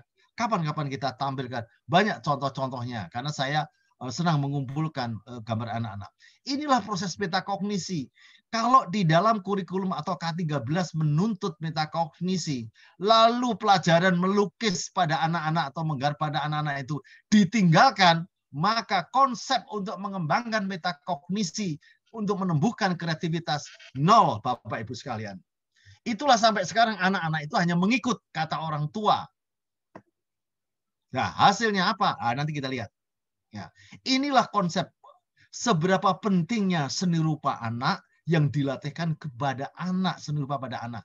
Dan sesuaikan dengan gaya berpikir anak-anak. Nah, inilah. Jadi kalau nanti menggambarkan keramian pasar hanya disimbolkan satu telur, jangan dimarahi. Ditanya dulu mengapa satu telur. Tapi biasanya orang tua atau guru, ah kayak gitu, ini kayak gini, ini loh contohnya yang bagus. Nah akhirnya anak-anak tidak kreatif, hanya mengikuti perintah guru. Masya Allah, inilah kejadian-kejadian yang ada. Nah, inilah proses ekspresi. Bapak Ibu sekalian, kalau sudah namanya proses ekspresi, itu sulit sekali untuk dibahas. Karena apa? Ekspresi anak itu berbeda-beda. Kadang ekspresi spontan. kadang-kadang ekspresinya itu disertai dengan cerita.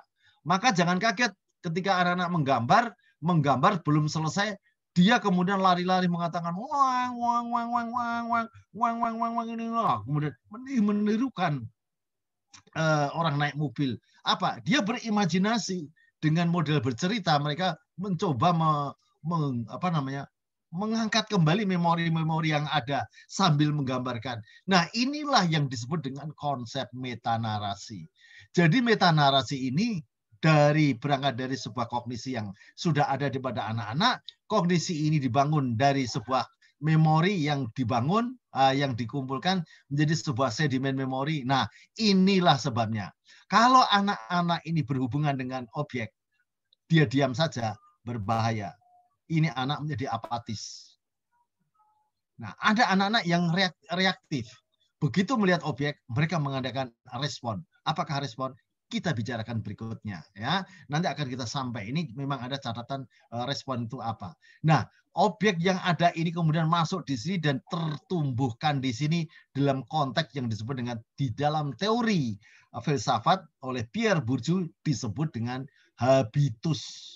Habitus adalah penyusunan memori-memori yang ada positif atau negatif yang disusun secara sistematik anak di situ dengan proses neuroscience yang dikembangkan menjadi sebuah neurosimbol atau neuroestetik nanti akan menghasilkan bentuk-bentuk baru bagi anak-anak yang kreatif. Inilah fungsinya. Orang seorang guru mampu mengangkat konsep neuroestetik menjadi sebuah simbol-simbol yang luar biasa pada anak-anak. Jangan dilihat uh, artistiknya. Jadi kita bedakan artistik itu bentuk yang uh, indah, indah yang bisa dipahami orang, tetapi ini adalah pada rasa yang yang dimunculkan. Inilah proses ini kita sebut dengan proses uh, apa namanya metakognisi. Di sini menumbuhkan uh, respon. Respon masuk dalam persepsi. Persepsi menggeser menjadi sebuah uh, berpikir metakognisi, lalu menghasilkan simbol-simbol simbol-simbol menjadi sebuah karya seni. Ini adalah proses ekspresi. Nah, di sinilah proses representasi ini adulnya harus dipikirkan oleh guru. Nah, di mana letak kreativitas? Anak yang kreatif melihat objek sudah bisa. Menyimpan di dalam otak mampu dan tahan lama. Ini adalah keluasan anak-anak. Yang ketiga, dia bisa mengasosiasikan dengan bentuk-bentuk yang lain peristiwa yang lain menjadi proses metakognisi. Kemudian diceritakan dalam bentuk metanarasi. Itulah uh, Bapak Ibu dalam proses uh, anak mencipta sebuah karya seni. Kita lanjutkan lagi kalau ini boleh. Nah, representasi adalah proses di mana sebuah objek ditangkap oleh indera seseorang. Lalu masuk ke akal untuk diproses yang hasilnya adalah sebuah konsep ide yang dengan bahasa akan disampaikan diungkapkan kembali entah itu dalam musik, entah itu dalam uh, syair dan seni rupa. Representasi adalah proses pemaknaan kembali sebuah objek, fenomena, realitas yang banyak maknanya. Representasi juga sangat bergantung dengan bagaimana pengetahuan yang dimiliki oleh seseorang yang melakukan representasi tersebut. Inilah proses persepsi itu muncul. Begitu Bapak Ibu sekalian, satu lagi mungkin ya. Di dalam teori visual gestalt, ini kembali lagi pada teori-teori ya, ah, biar nanti eh, biar kelihatan ilmiah gitu. Tapi sebenarnya nggak apa-apa gitu. Dalam bidang psikologi dan komunikasi visual terkadang terbagi dalam berbagi dalam investigasi sebuah masalah. Salah satunya adalah persepsi visual. Psikologi mempunyai interest di dalam hal bagaimana mata dan otak berfungsi secara bersama-sama dalam proses persepsi tadi yang saya utarakan. Sebagai seorang visual storyteller atau visual communicator, kita juga punya kepentingan dengan topik tersebut karena representasi visual yang kita buat pada akhirnya akan dipersepsi dimasukkan di dalam otak menjadi apersepsi ya, kemudian ditumbuhkan kembali ketika mereka uh, distimulasi, diperhatikan oleh orang lain. Dan inilah teori Gestalt. Bentuknya adalah secara bersama-sama mungkin secara global. Ya, jadi begitulah. Ini dalam teori persepsi atau teori uh, psikologi atau disebut komunikasi visual. Kalau kita melihat dari teori Aristoteles yaitu kita sebut dengan intromission. Penglihatan terjadi karena masuk di dalam mata sebagai perwujudan bentuk. Dari wujud tersebut dalam hal ini cahaya tidak mempengaruhi. Maka bagi anak-anak yang biasa-biasa saja, cahaya tidak mempengaruhi. Tetapi bagi anak yang hebat, cahaya itu akan mempengaruhi. Makanya anak gambar anak tidak menunjukkan siang dan malam, hanya dilambangkan dengan matahari. Ketika matahari di sebelah kanan, itulah yang disebut matahari sedang terbit, uh, sedang tenggelam. Sedangkan di kiri itu adalah matahari terbit. Itu teorinya karena kita menghadap bahwa teori seperti di candi-candi juga demikian. Menghadap ke timur itu adalah matahari terbit.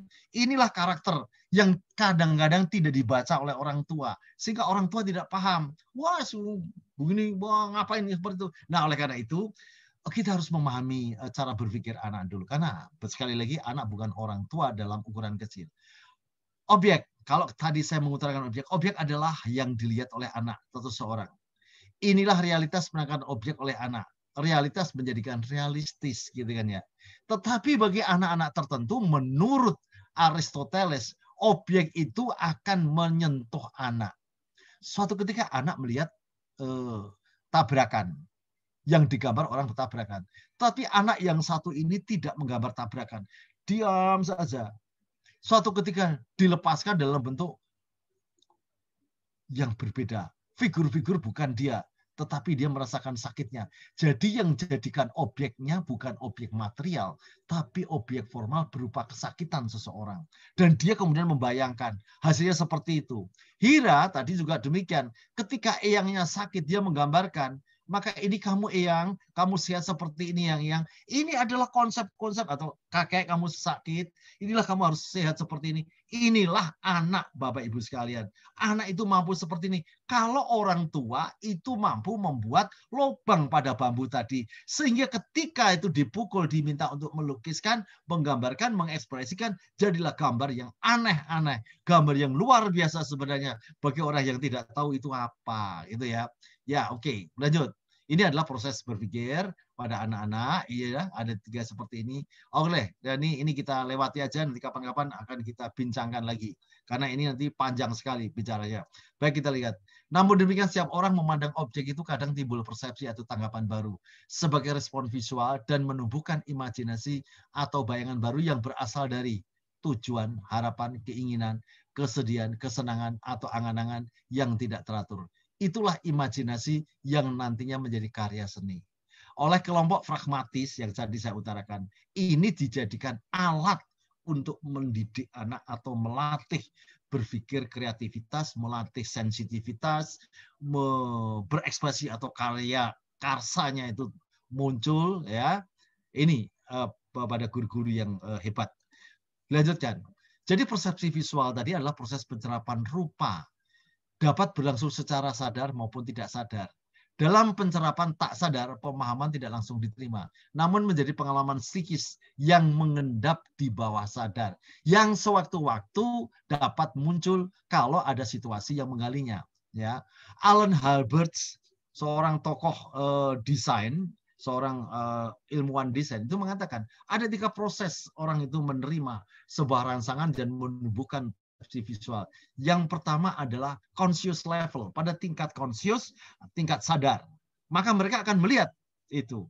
Kemudian mereka simpen menjadi unconscious level. Eh, preconscious level dulu. Sewaktu-waktu ini akan muncul atau tidak. Itu di dalam preconscious. Artinya sadar atau tidak dan sebagainya. Dan terakhir unconscious level. Bapak Ibu sekalian, proses unconscious level pada anak-anak itu bukan berarti dihabiskan atau dihilangkan persepsi objek yang ada. Tetapi itu kemudian sebagian akan disimpan dalam proses yang tidak sadar. Ya, akhirnya nanti akan menjadi bentuk-bentuk seperti ini. Nah, kalau sudah disimpan di dalam memori yang luar biasa, maka timbullah respon. Respon itu apa Bapak Ibu sekalian? Respon visual adalah tanggapan anak-anak terhadap bentuk yang tadi.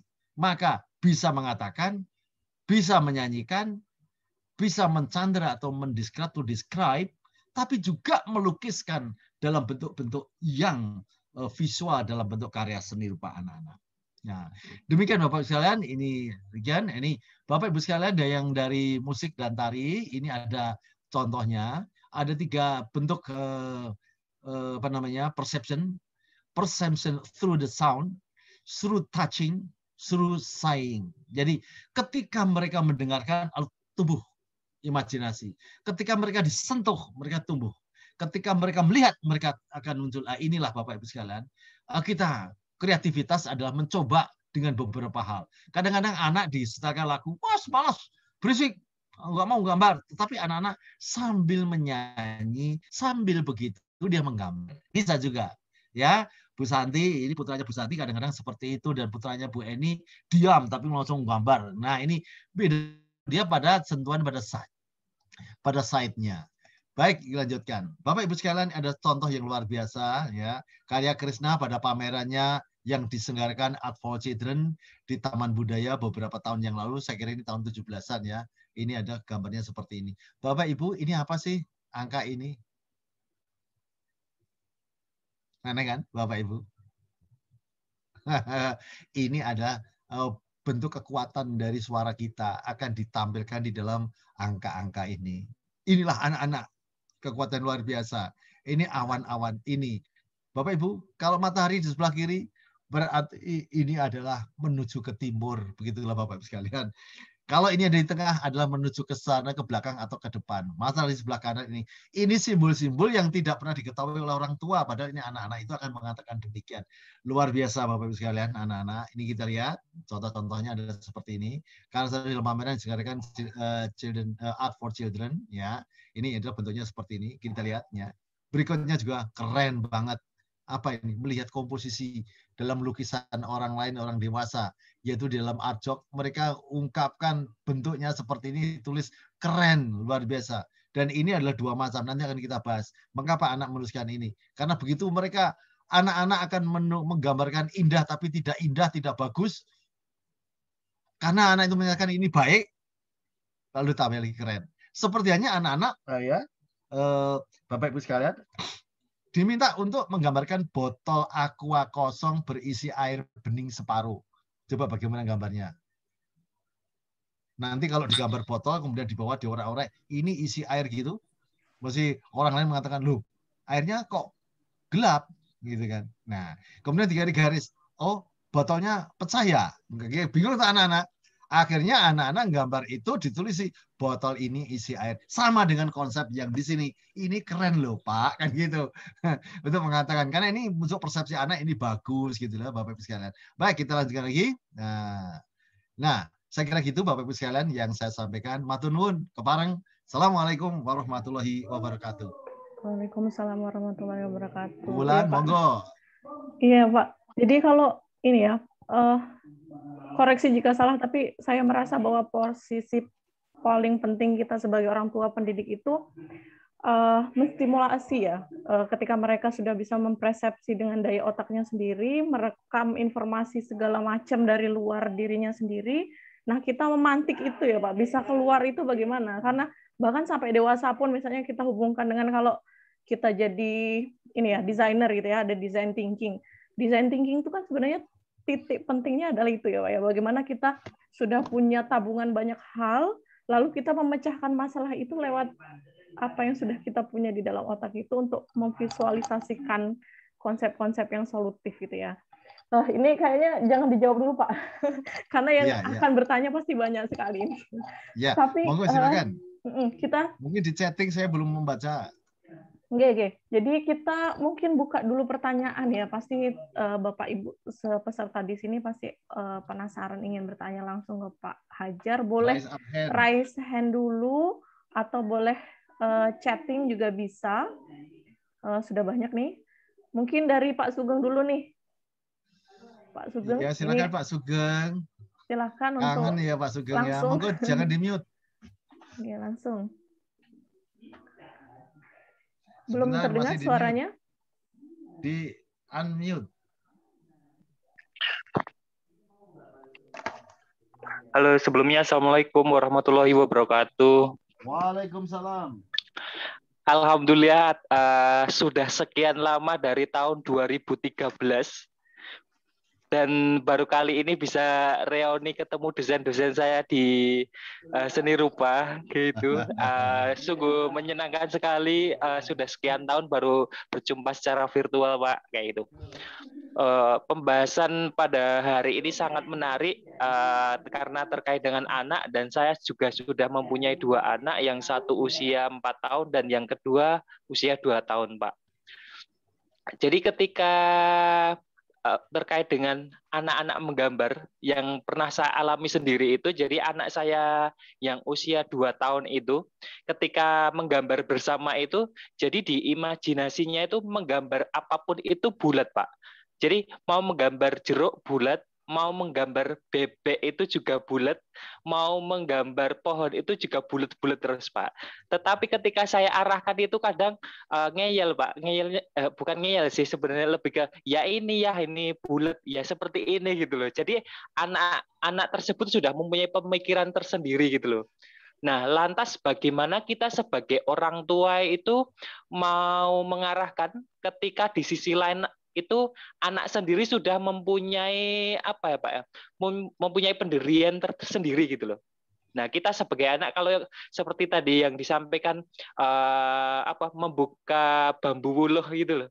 Nah kita sebagai orang tua yang mendampingi anak itu apa yang harus kita lakukan Bapak gitu. Ketika uh, anak tersebut sudah mempunyai pendirian. Mungkin okay. itu saja Bapak yang ingin saya sampaikan. Ya, terima kasih Pak Sugeng. Langsung dijawab aja ya Pak ya, biar seru langsung. Oke. Tangkis-tangkis. Oke. Baik, Pak Sugeng. Nanti sekalian ada ada pertanyaan dari uh, teman dari psikologi UGM S2 ya nanti sekalian saya bacakan aja nanti di situ atau di chatting sudah ada. Bapak Ibu sekalian, Pak Sugeng, itulah anak ya. Kadang-kadang anak-anak itu kaku ya. Nah, ini untuk mengatasi ini seperti apa? Satu, ya, tolong melihat karya orang lain. Yang kedua, melukis bersama-sama. Nanti kalau orang tua itu sering memarahi dan memajakan, misalnya salah satunya, anak itu terjadi hal seperti itu. Bukan saya mengatakan Mas Sugeng itu memajakan anaknya ya Bu, ayo anaknya ya, ya dipanjakan, ya enggak apa-apa. Tapi lihatlah Bapak, Pak Sugeng, ini kalau anak-anak itu dimanjakan tanpa pernah ada stop dan dimotivasi yang lain itu sulit. Anak itu pada harkatnya pengen punya teman. Makanya tolong menggambar bersama teman-teman yang lain. Itulah fungsinya sanggar seni rupa anak. Tetapi beda. Yang saya lihat berkali-kali sanggar seni rupa anak adalah latihan bagaimana menjadi juara melukis. Dosa besar Bapak Ibu sekalian kalau menjadikan juara melukis. Karena pengalaman saya ketemu dengan seorang tokoh yang luar biasa, anak yang luar biasa ini Mas Tejo. Ini kalau ketemu, tapi anaknya entah sekarang di mana. Dia namanya Wiku Wulang Asih. Putranya eh, seorang seniman namanya Harjanto. Sri Harjanta. Ketika mereka akan masuk di sanggar, saya mengatakan, Mas jangan dimasukkan di sanggar, anak Mas itu luar biasa pinternya kreasinya, imajinasinya luar biasa. Lukisan-lukisannya luar biasa, kekuatannya luar biasa. Lalu Mas Darjanto, wah anak saya besok jadi seniman. Saya hanya mengatakan, belum tentu Mas. Karena lukisan itu bukan untuk jadi seniman pada anak-anak.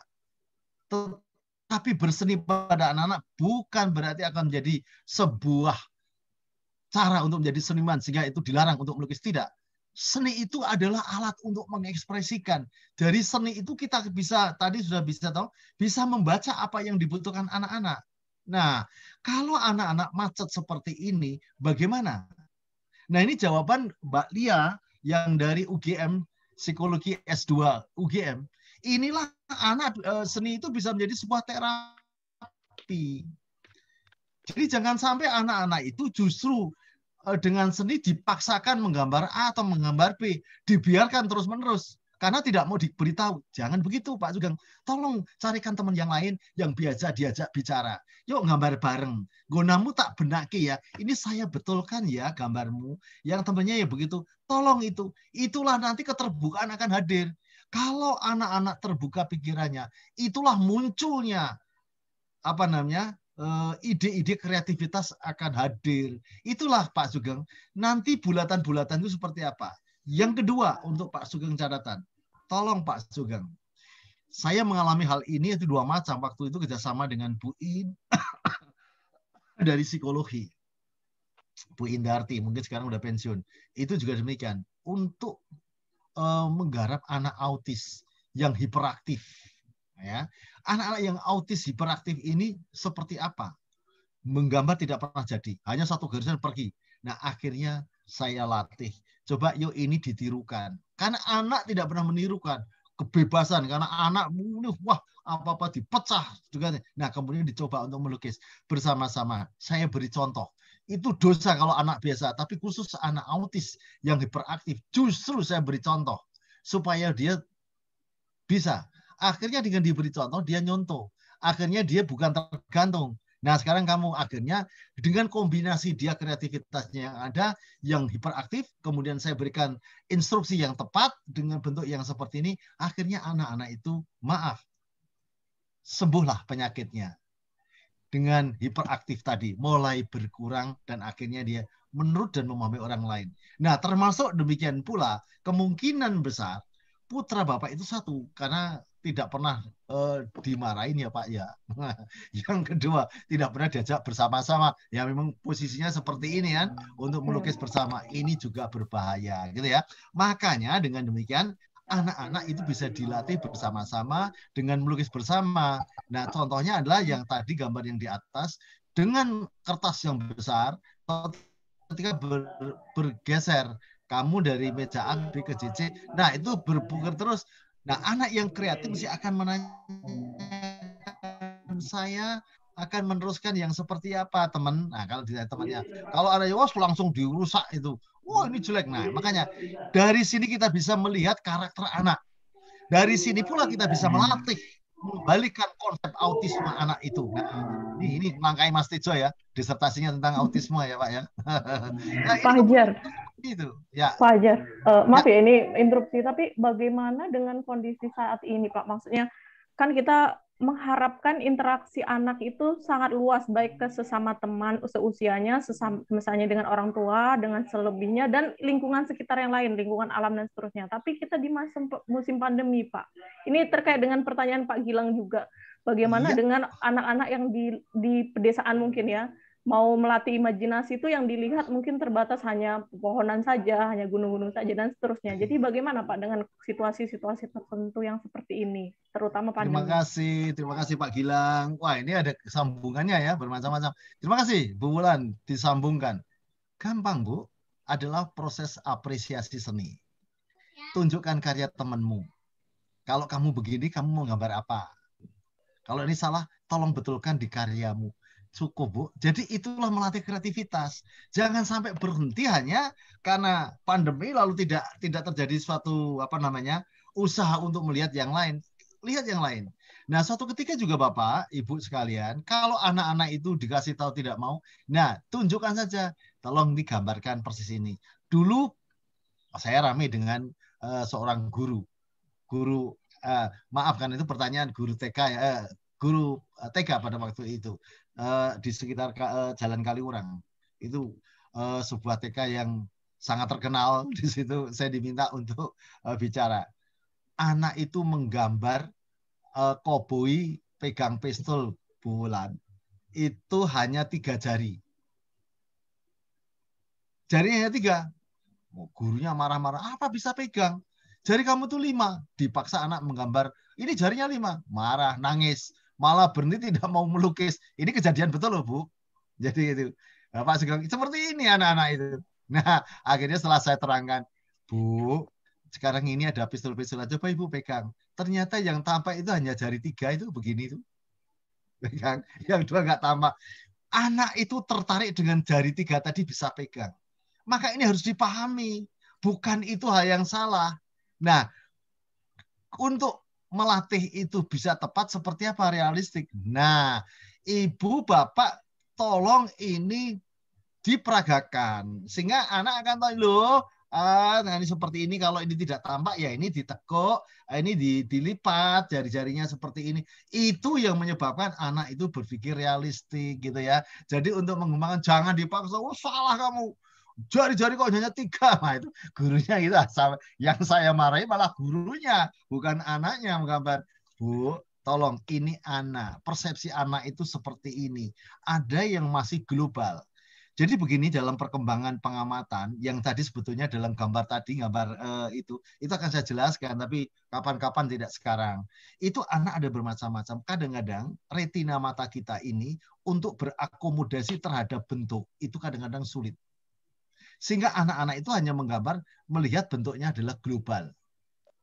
Berbahaya sekali. Makanya kalau ada anak-anak yang seperti ini bisa dikonsultasikan kepada dokter kemungkinan besar retina matanya tidak beres.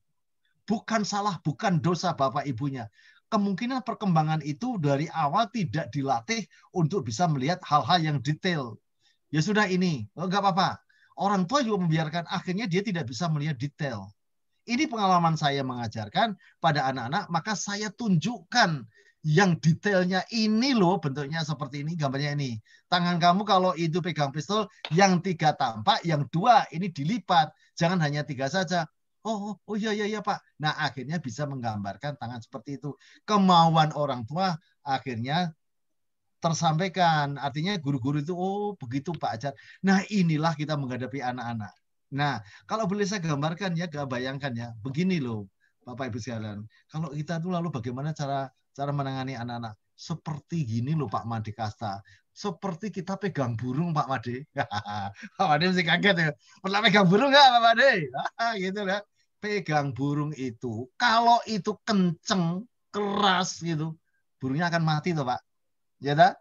Nah, kalau itu terbuka sedikit, ah, burungnya terbang. Nah, makanya hati-hati Pak, dirasakan seperti apa kita memahami anak itu. Ya kalau keras ya kita kencengkan, kalau kenceng ya kendorkan.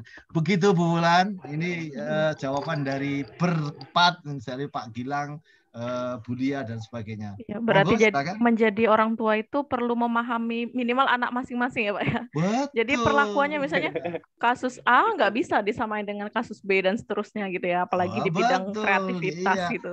Ya, oke, satu lagi Bu Wulan, ya, harus silakan. memahami karakteristik anak Nah, hmm, gitu juga ya. ya. Coba silakan kalau akan ya. ada pertanyaan lagi. Ini mungkin kita baca kita... dari chatting. Maulana Iqbal dulu, Pak Maulana Iqbal dulu mungkin ya. Pak Maulana, silakan. Oke, sudah antri dari awal nih. Ya. Monggo Pak Maulana. Halo, selamat sore Pak Hajar. Selamat sore Pak Iqbal. Ya. Oke Pak Hajar, terima kasih uh, atas semua pembelajaran tadi sangat menarik sekali. Saya uh, guru gambar sudah lima tahun lebih dan ini saya baru dapat kasus tadi yang seperti saya jelaskan bahwa uh, sampai mana batasan kita itu membimbing anak tentang kreativitas. Tadi kan kalau uh, Pak Hajar jelaskan bahwa anak mau gambar ini dibebaskan dulu tidak apa-apa gitu. Nah, sementara ini saya baru dapat kasus satu anak ini senang menggambar uh, manga, Pak. Oh, iya. Senang menggambar manga. Set, uh, dia di di sama saya sering menjelaskan uh, gambar ini adalah gambar yang paling saya sukai gitu. Tetapi masalahnya gambar tersebut setelah saya cek ini komik pak base-nya base base on komik gitu. Ya. Ternyata gambar ini uh, ceritanya agak vulgar pak. Maksudnya di sini alur ceritanya dari awal sampai akhir itu mengandung unsur-unsur seperti seksual dan LGBT gitu. Nah, di satu sisi saya pengen melarang kreativitasnya, tapi di satu sisi juga saya harus memberitahu bahwa ini uh, sesuatu yang kamu gambar berkali-kali dan kamu suka ini ternyata agak sedikit kontradiktif dengan dengan etika etika ya di adat kita gitu pak. Nah saya pengen uh, pengen solusi atau in, uh, informasi dari bapak sebagaimana uh, bagaimana sejauh mana batasan-batasan kita mendidik anak itu tersebut dalam kreativitasnya. Baik, terima kasih. Uh, Bu Mulan, ini ada dari UITM ada iya, belajar. Iya, betul. Tolong nah, nanti di, sebelum ya. Jawab sebelum Ya. jawab punya Pak Iqbal, Ya. sepertinya sangat berkaitan dengan pertanyaannya Pak eh, Muhammad Nabil nih. Ah, Mau disampaikan langsung Pak perwakilan dari UITM karena Silakan, silakan, sangat silakan. terkait. Eh, Eh, eh, terkait apa ya Si- abuse si- dan si lain-lain Muhammad itu kan Nabil, berkaitan sila- juga dengan etika ya eh, punya Muhammad Nabil, Mas sila bicara. Silakan langsung. Uh, Assalamualaikum. Waalaikumsalam. Pak. Okay, saya dari UiTM Malaysia. Saya nak, saya nak soalan saya lebih kurang dengan Pak Maulana sebenarnya. Uh, sebagai pendidik, uh, Pak Hajar sebagai pendidik, adakah uh, Pak Hajar mengambil serius tentang uh, lukisan kanak-kanak yang membabitkan, melibatkan tentang unsur-unsur ya uh, apa abuse ataupun perkara yang negatif. Adakah perkara itu perlu diambil serius? Ah itu saja soalan saya. Terima kasih. Ya, betul. Ah, Sangat terkait terima ya. kasih. Ya. Menarik Terima ini, kasih. Pak. Bapak Ibu ini Karena- dari Malaysia, Bapak betul. Ibu sekalian. Terima kasih sekali. Eh, Karena Cik dua negara Nabil. ini Thank you ya. Oke. dua negara ini Boleh ada saya jawab, Bu tinggi ya, Pak ya. Betul. Wah, sampai dari Malaysia sampai Malaysia loh Pak Pak Tejo. Ya, pertanyaan-pertanyaan luar biasa. Terima Baik, kasih. ini dua-duanya hampir sama antara Pak Iqbal dengan Pak eh, Muhammad Nabil, Cik Muhammad Nabil ya. Begini, langkah yang harus kita lakukan adalah satu, sebenarnya anak itu punya karakter apa. Walaupun dia menggambar itu adalah abuse, maybe some uh, sometime dia uh, uh, jorok gitu ya kalau kita, bukan seronok ya. Kalau Malaysia seronok itu berbeda ya. Eh, jorok artinya tidak baik gitu ya. Kemudian ada langkah-langkah yang seperti manga. Memang komik-komik di manga itu akan lebih bebas untuk mengutarakan hal itu. Satu, kalau itu kita larang untuk menggambar dengan model manga, anak-anak akan mu- mundur selamanya. Ya. Satu-satunya jalan adalah mengembangkan kecakapan sosial yaitu bersama dengan teman yang lain. Artinya tolong gambarkan bersama-sama atau kalau ada gambar teman yang lain, tolong kamu selesaikan gambar ini. Tapi dalam fotokopi atau apa. Berikan mereka apa namanya? meminta untuk mengkritisi seperti apa-apa. Begitu juga Cik Nabil, ini juga demikian. Jangan dibiarkan. Kalau itu iya tidak, tapi mereka dicoba anak-anak diminta untuk bandingan. Ya, comparison between uh, another uh, artwork ya, children artwork. Coba children children artwork itu satu orang dengan satu orang itu dikembangkan seperti apa? Kamu bisa nggak ini? Dicoba kita menginstruksikan. Jangan sesekali membebaskan kata kata-kata itu. Memang kita inti utamanya adalah kebebasan. Tapi kebebasan berekspresi itu bukan real bebas tanpa ada suatu aturan. Kalau saya memang mengatakan itu adalah kemerdekaan berpendapat, tapi itu juga juga termasuk kebebasan karena beda ya kalau yang lain itu ya. Nah, demikian. Jadi kita coba anak-anak itu diberi bandingan dengan karya yang lain. Ini pernah terjadi seperti itu. Tidak pernah dia berhenti ini, wah gambar setiap hari datang gambar balon, balon, balon, balon. Eh ternyata begitu. Nah, Bapak Ibu sekalian, ada dua macam. Kalau gitu kita lihat dari latar belakang atau psikologi yang hadir. Kemungkinan besar anak ini yang itu adalah abuse itu pernah melihat. Itu hal yang biasa. Sehingga anak itu menggambarkan menjadi hal yang biasa. Anak itu misalnya LGBT atau seks. Pernah melihat orang tuanya. Anak itu juga menggambarnya seperti itu. Karena sebenarnya anak-anak itu merefleksi lingkungan sekitar. Seperti kata-kata yang di atas tadi ada beberapa pendapat yang mengatakan refleksi lingkungan sekitar itu selalu ada pada anak-anak. Karena di dalam teori yang namanya psychohomeostatic. Psycho ada psikologi, homeo adalah lingkungan, alam atau rumah. Statik adalah ilmu-ilmu yang mempelajari pengaruh lingkungan terhadap anak atau perilaku seseorang. Itu namanya psychohomeostatic. Silakan dibuka itu tulisannya dari Frank L. Casio. Ya, orang Amerika yang luar biasa itu. Alam itu mempengaruhi kehidupan kita sehingga anak-anak itu akan berlaku seperti itu. Kalau kebebasan berpikir itu diarahkan, makanya bukan bebas dalam arti semaunya itu, tetapi bagaimana seorang guru itu memotivasi, kemudian ekspresinya bebas. Pikiran bisa kita motivasi, karyanya ketika berekspresi itu dibebaskan. Karena untuk menyimpulkan, dia tidak tahu bahwa itu seks, itu tidak. ini yang berat sekali bagi kita. Ya. Anak-anak tidak paham bahwa itu simbol itu adalah simbol negatif. Nah, makanya diperlukan orang tua.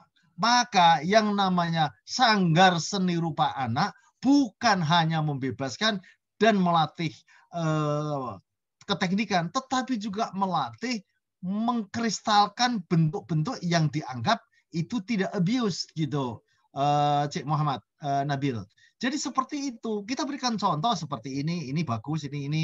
Nah, kamu bisa seperti ini. Coba kamu gambarkan yang berbeda. Saya kira anak bisa karena saya pengalaman saya dari sejak 74 sampai dengan hampir 2015 itu selalu bergaul dengan lukisan. Nah, sekarang tinggal uh, saya sebagai juri internasional di dalam uh, apa namanya Kyoto uh, competition uh, kom, uh, art children art competition di dalam Kyoto Perfection ya. Jadi hanya itu saja. Tapi ini yang menjadi pengalaman saya, itu anak bisa dilatih dengan cara seperti itu ya. Diberikan gambar ini gini. Nah, kemudian suatu ketika kalau manga itu tetap berhasil, coba cari komik-komik lama kita. Aku sasih tentang komik-komik wayang yang dijadikan uh, bandingannya. Jadi begitu Pak Iqbal. Jangan berhenti. Yeah. Kita kan punya komik-komik yang Indonesis atau yang non westernist gitu ya. Kita coba ke ke, ke komik kita yang ada. Itu kita kita munculkan gitu. Kalau mungkin di Malay ada komik-komik yang uh, cerita bergambar yang uh, lebih uh, menuju kepada uh, keagamaan dan itu gambar bisa kita ceritakan. Lah kita nanti adalah mencoba masuk di dalam ranah-ranah konsep. Nah, akhirnya terjadi. Nah, saya kira gitu, Bulan luar biasa ya, pertanyaannya. Iya, ya, ini sangat menarik sekali, Pak, karena bisa jadi nanti ini pembahasannya ujungnya ke pendidikan karakter ya. Kita di UNI itu sedang sedang gencar-gencarnya untuk meningkatkan konsep pendidikan karakter dan seni itu menjadi salah satu itu. Ya kita sadari tadi ya, mungkin anak-anak itu sebenarnya mereka belum sepenuhnya paham terhadap apa yang mereka gambar termasuk bullying, bagaimana mereka menghina atau me, ber, apa ya, melakukan kekerasan terhadap uh, teman sendiri dan seterusnya gitu ya, termasuk pornografi, uh, abuse dan sebagainya itu. Jadi memang justru seni rupa ini menjadi salah satu cara untuk kita memahamkan mereka gitu ya. Ini uh, 5 10 Pak mau lanjut atau ah, silakan kalau dulu. saya bebas masih belum masih, ada acara. Uh, mungkin kita yang angkat tangan tadi Pak Made nggak jadi ya Pak? Nggak jadi tanya? Oh, jadi monggo Pak Made dulu mungkin sambil Pak nanti Made, kita silakan. lihat Wah. yang chat. Jangan berat-berat Pak Made. ah, terima kasih. Selamat sore Pak Hajar, Pak Ulan. Selamat sore. Ya, saya ketemu beliau ini di 91 di PPPG Sleman Klidon ketika saya dilatih sebagai instruktur seni nasional oleh beliau. Uh, langsung nancep Pak uh, kesan Bapak ke saya dan sampai sekarang saya selalu uh, merindukan untuk ketemu lagi dan sekarang alhamdulillah ketemu. Oke okay, Pak. Oke, ada satu hal yang ingin saya komunikasikan di sini. Uh, tampaknya memang ini harus didengar oleh Puskur ya, Puskurandik atau apa pun di Kemendikbud ini bahwa kurikulum kita memang kacau balau itu, membuat ruang pendidikan seni juga tidak dapat uh, berkembang sesuai dengan konsep-konsep ideal Bapak tadi. Pertanyaan saya satu Pak, tampaknya pendidikan seni khususnya pengembangan kreativitas melalui menggambar bagi anak-anak ini tidak bisa monolitik ya Pak. Artinya betul-betul harus integratif dengan kegiatan-kegiatan lain. Yang sering kali di sekolah itu kan misalnya sebagai tempelan jam saja Pak. Padahal ini harus diintegratifkan dengan kegiatan bercerita, kegiatan aktivitas lainnya, kegiatan merespon sosial dan sebagainya. Nah, selama ini kita hanya melihat anak belajar menggambar itu ya secara visual bisa menggambar, bisa melukis, bisa meniru. Kemudian dikacaukan lagi kan dengan beberapa anak itu mempersepsi bentuk itu kenyataannya tidak dari bentuk uh, alam, Pak, tapi dari bentuk-bentuk ilustrasi buku atau kartun-kartun yang buatan orang dewasa. Ini kacau balau lagi di persepsi anak-anak. Sehingga saya melihat ini juga menjadi persoalan yang harus diure. Ini saya tidak bertanya hanya sedikit kira-kira dalam kegelisahan saya ini bisa di Bapak beri sodoran penjelasan yang lebih mencerahkan buat saya di lapangan. Itu aja Pak. Makasih Mbak Wulan. dan mohon penjelasan dari Pak Hajar, guru saya yang luar biasa. terima kasih Pak Hajar. Ya, terima ya. kasih Pak Madi. Langsung aja Pak Hajar. Terima kasih. Waduh, pertanyaan dari Pak Made memang sulit. Ya, Pak Made, idealisme kita itu kadang-kadang uh, terbentur dari birokrasi. Orang-orang yang ada, maaf saya terbuka saja, orang-orang yang ada di Puskur belum tentu ngerti tentang seni. Tapi kebetulan dia mengajar seni. Karena konsepnya adalah mismatch. Dia bukan guru seni, dia belum tahu, tidak tahu tentang seni. Dia bisa melukis, dia bisa menyanyi. Tetapi pendidikan seni dia tidak ngerti. Yeah. Kita sebut namanya mismatch. Dan konsep mismatch inilah yang membahayakan. Justru ini pada posisi apa namanya kingmakernya kurikulum. Ini berat sekali. Lalu dianggap kurikulum itu adalah kurikulum seni itu tempelan. Padahal kalau kita melihat seperti ini, di luar negeri sudah mengatakan dan dalam penelitian saya di tahun 1990 di Australia, ya kebetulan saya berada di sana ya untuk 100 eh, hari harus menyelesaikan eh, materi-materi yang ada di sana untuk mendirikan PGSD pada saat itu 8990 anak-anak PAUD itu 90% pembelajarannya seni. Dalam arti bukan seni itu menggambar, tetapi seni yang implementatif. Kalau istilah Pak Made, si seni yang integrated dengan kehidupan sehari-hari. Contohnya, ya. disediakan kain berwarna macam. Tolong kamu sekarang kenakan seolah-olah itu bajumu. Anak-anak itu menirukan karena saya ada di depannya dia, karena saya sebagai prinsipal latih dilatih sebagai kepala sekolah pada saat itu ya di Australia salah satu sekolah uh, urban primary school. Saya di sana saya di, uh, dilatih. Saya minta anak itu uh, melakukan hal itu. Dia lalu mencontoh orang Indonesia pakai hijab. Luar biasa. Dan warnanya dia dipilih. Kenapa nggak begini? Ah oh, it's not good hajar. Oh it's, it's to to break of the the color gitu. The color break istilahnya itu. Wow kalau yang pecah bagaimana ini nggak cocok, Pak. Intinya seperti ini. Anak-anak itu dilatih seni bukan hanya menggambar, bukan hanya menari, Pak Artono, tetapi gerakan yang indah itu seperti apa? Ya, ngomong bicara yang indah seperti apa? Itulah pertama kali dikatakan keindahan. Jadi keindahan itu just not how to making artwork, painting or others, dancing bukan itu, tetapi bagaimana itu terjadi uh, pemberian estetika dalam konteks itu. Begitu Pak Made Costa. Jadi inilah yang menyebabkan kita itu hancurnya seperti itu. Karena orang-orang tidak ngerti tentang seni, merasa dia pernah uh, jadi seorang penyanyi, dia bisa mengajar seni. Berat, karena pendidikan seni bukan itu. Kalau kita melihat, ternyata lukisan anak-anak itu punya makna banyak yang saya utarakan ini baru sebagian sekecil sekali Bapak Ibu sekalian yang saya utarakan. Belum kalau ketika kita mem mem mempelajari karakteristik bentuk-bentuk lukisan anak-anak di dalam perkembangan yang namanya periodisasi perkembangan lukisan anak-anak, kita lalu akan terbuka gitu ya ya kaitannya dengan psikologi, kaitannya dengan filsafat, kaitannya dengan cara berpikir matematis itu disebut dengan logika matematikus dan juga logika estetikus. Anak-anak itu punya logika estetikus sendiri, tidak bisa dikembangkan seperti yang lain. Makanya ini perlu dilatihkan, tetapi ini tidak didengar oleh pusat. Begitu Pak Madekasta, betul ini. Saya saya sedih juga. Nah, karena itu sudah yang namanya pejabat sudah diam saja. Begitu kita ngomong besok kita nggak dipakai gitu aja. Akhirnya justru seperti inilah perkembangan selanjutnya. Saya kira gitu, saya mengeluh, Bu, tapi sebetulnya nggak boleh begitu. Silakan Bu Bulan. Harapannya kita bagian dari solusi itu ya Pak ya, walaupun ya, mungkin iya. masuk ke sistem kita itu susah. Pak Artono, ada Pak Artono di sini. Kalau masuk ke sistem susah, kita sendiri yang bergerak. ya karena gimana pun tetap uh, pendidik orang tua itulah ya nanti yang uh, apa ya kecil-kecil tapi gerakannya justru kita membangun peradaban itu dari yang kecil-kecil itu. Nah apa uh, pepatah bilang kalau berhenti di tengah yang pas seru-serunya itu justru bikin penasaran. Jadi nggak masalah ya Pak ya, kita stop dulu. Masih banyak pertanyaan sebenarnya dari Mbak Isti, Mas Dedi, banyak sekali ini yang belum kita jawab ya. Dan justru kita simpan, kita keep.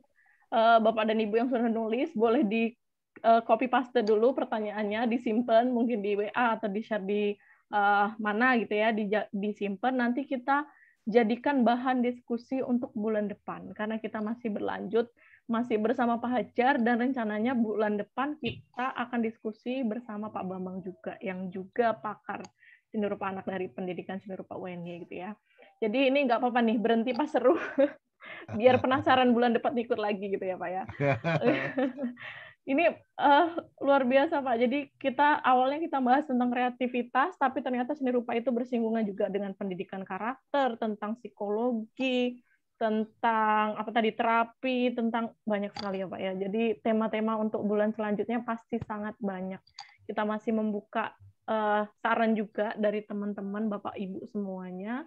Tadi yang sudah mengisi presensi ya di sana ada kolom untuk saran-saran bulan selanjutnya seperti apa dan bulan depan tenang aja karena memang kita konsepnya klinik, jadi akan lebih banyak uh, sharing kayak gini ya. Jadi lebih banyak jemput bola lah kita benar-benar bagaimana di lapangan uh, apa yang terjadi di lapangan itulah yang kita bahas langsung gitu ya. Mungkin sebelum closing nih saya uh, mempersilahkan Pak Hajar dulu untuk closing statement Pak. Uh, sepatah dua patah iya. kata yang bisa memberikan apa ya closing yang apa yang harus kita lakukan selanjutnya ya Pak? Gitu. Monggo aja. Ya, dua kalimat yang cepat. Satu, kreativitas selalu harus kita bina. Dan anak-anak itu bisa dibina melalui seni, apa pun juga. Dan jangan membatasi kalau pelatihan seni itu seni rupa, lepas dari tari, lepas dari musik. Semuanya itu berbasis pada estetika. Maka pembelajaran yang utama adalah estetika. Estetika pada tari, ya musik. Nah, keteknikan itu namanya artistika, maka kita bisa mempelajari artistika. Jadi nanti bagaimana menggambar yang baik, menari yang baik, tetapi sama-sama basisnya adalah estetika. Mari anak kita latih kreativitas melalui seni dengan basis adalah estetika. Maturun. Ya, terima kasih Pak Hajar. Ya, garis bawah sekali ini karena anak itu berpikir secara holistik ya. Jadi mereka tidak mengkotak-kotakan ilmu dan seterusnya. Jadi kita harus mengembangkan anak itu secara multisensorik dan seterusnya gitu, multidimensional dan seterusnya gitu. Karena uh, dengan menjadi ber, berusaha memahami cara berpikir mereka, kita akan memberikan cara belajar juga yang lebih tepat. Dan di musim pandemi ini peran orang tua, peran pendidik sangat penting ya. Jangan biarkan mereka hanya hilang waktunya melewati pandemik hanya WFH bermain mungkin hanya sekedar bermain game saja, tapi bagaimana uh, kita ketika mendapat uh, musibah pandemi ini yang secara global ini justru menjadi sarana kita dekat dengan mereka ya. Jadi kalau kita tidak belum bisa ke sanggar karena kondisi pandemi, kita saatnya untuk menjadi dekat dengan mereka dan kita lah menjadi sanggar bagi bagi mereka gitu ya baik orang tua maupun pendidik dan seterusnya dengan nah ini masih PR nih. Mungkin bulan depan kita akan lebih mengupas lagi solusinya realnya di lapangan itu seperti apa. Nah simpan pertanyaan uh, gagasan bapak ibu semuanya untuk bulan depan. Kami menunggu partisipasi bapak ibu lagi di uh, agenda kita bulan depan. Tunggu pamfletnya ya. Kalau sudah kita share berarti uh, cepat-cepatan daftar karena kemarin juga kita sempat uh, kaget gitu bludak ya. Uh, alokasinya hanya beberapa gitu ternyata pendaftarnya sangat banyak gitu. Jadi kita cepet-cepetan aja gitu. Uh, kami mohon support dukungan doanya dari bapak ibu. Semoga rintisan acara klinik seni rupa ini tetap bisa berjalan terus dan dapat memberi dampak yang uh, sang apa ya realistis gitu. Jadi uh, ketika kita hanya belajar teori kan ya sudah gitu ya. Tapi harapannya dengan agenda ini kita lebih memahami bagaimana praktis di lapangan itu gitu ya. Terima kasih sekali lagi kepada Pak Hajar Pamadi yang sudah memberikan banyak sekali ilmunya tapi tetap kita merasa kurang Pak bulan depan harus ketemu lagi. Dan terima kasih juga Bapak Ibu, mohon maaf untuk yang belum terjawab pertanyaannya. Semoga kita bisa menjawab bulan depan. Uh, saya selaku moderator MC acara pada hari ini, mohon maaf jika banyak kesalahan maupun kurang memberi pelayanan terbaik untuk pertanyaan-pertanyaan Bapak dan Ibu. Semoga kita bisa bertemu bulan depan. Saya akhiri. Wassalamualaikum warahmatullahi wabarakatuh. Waalaikumsalam. Waalaikumsalam. Sampai jumpa lagi. Ya. Jangan lupa mengisi presensi. Oh ya, presensinya. Masih banyak. Presensi. Oke, assalamualaikum. Terima kasih, Indonesia. Iya. Ya. Pamit Fajar. Azita. Monggo, monggo.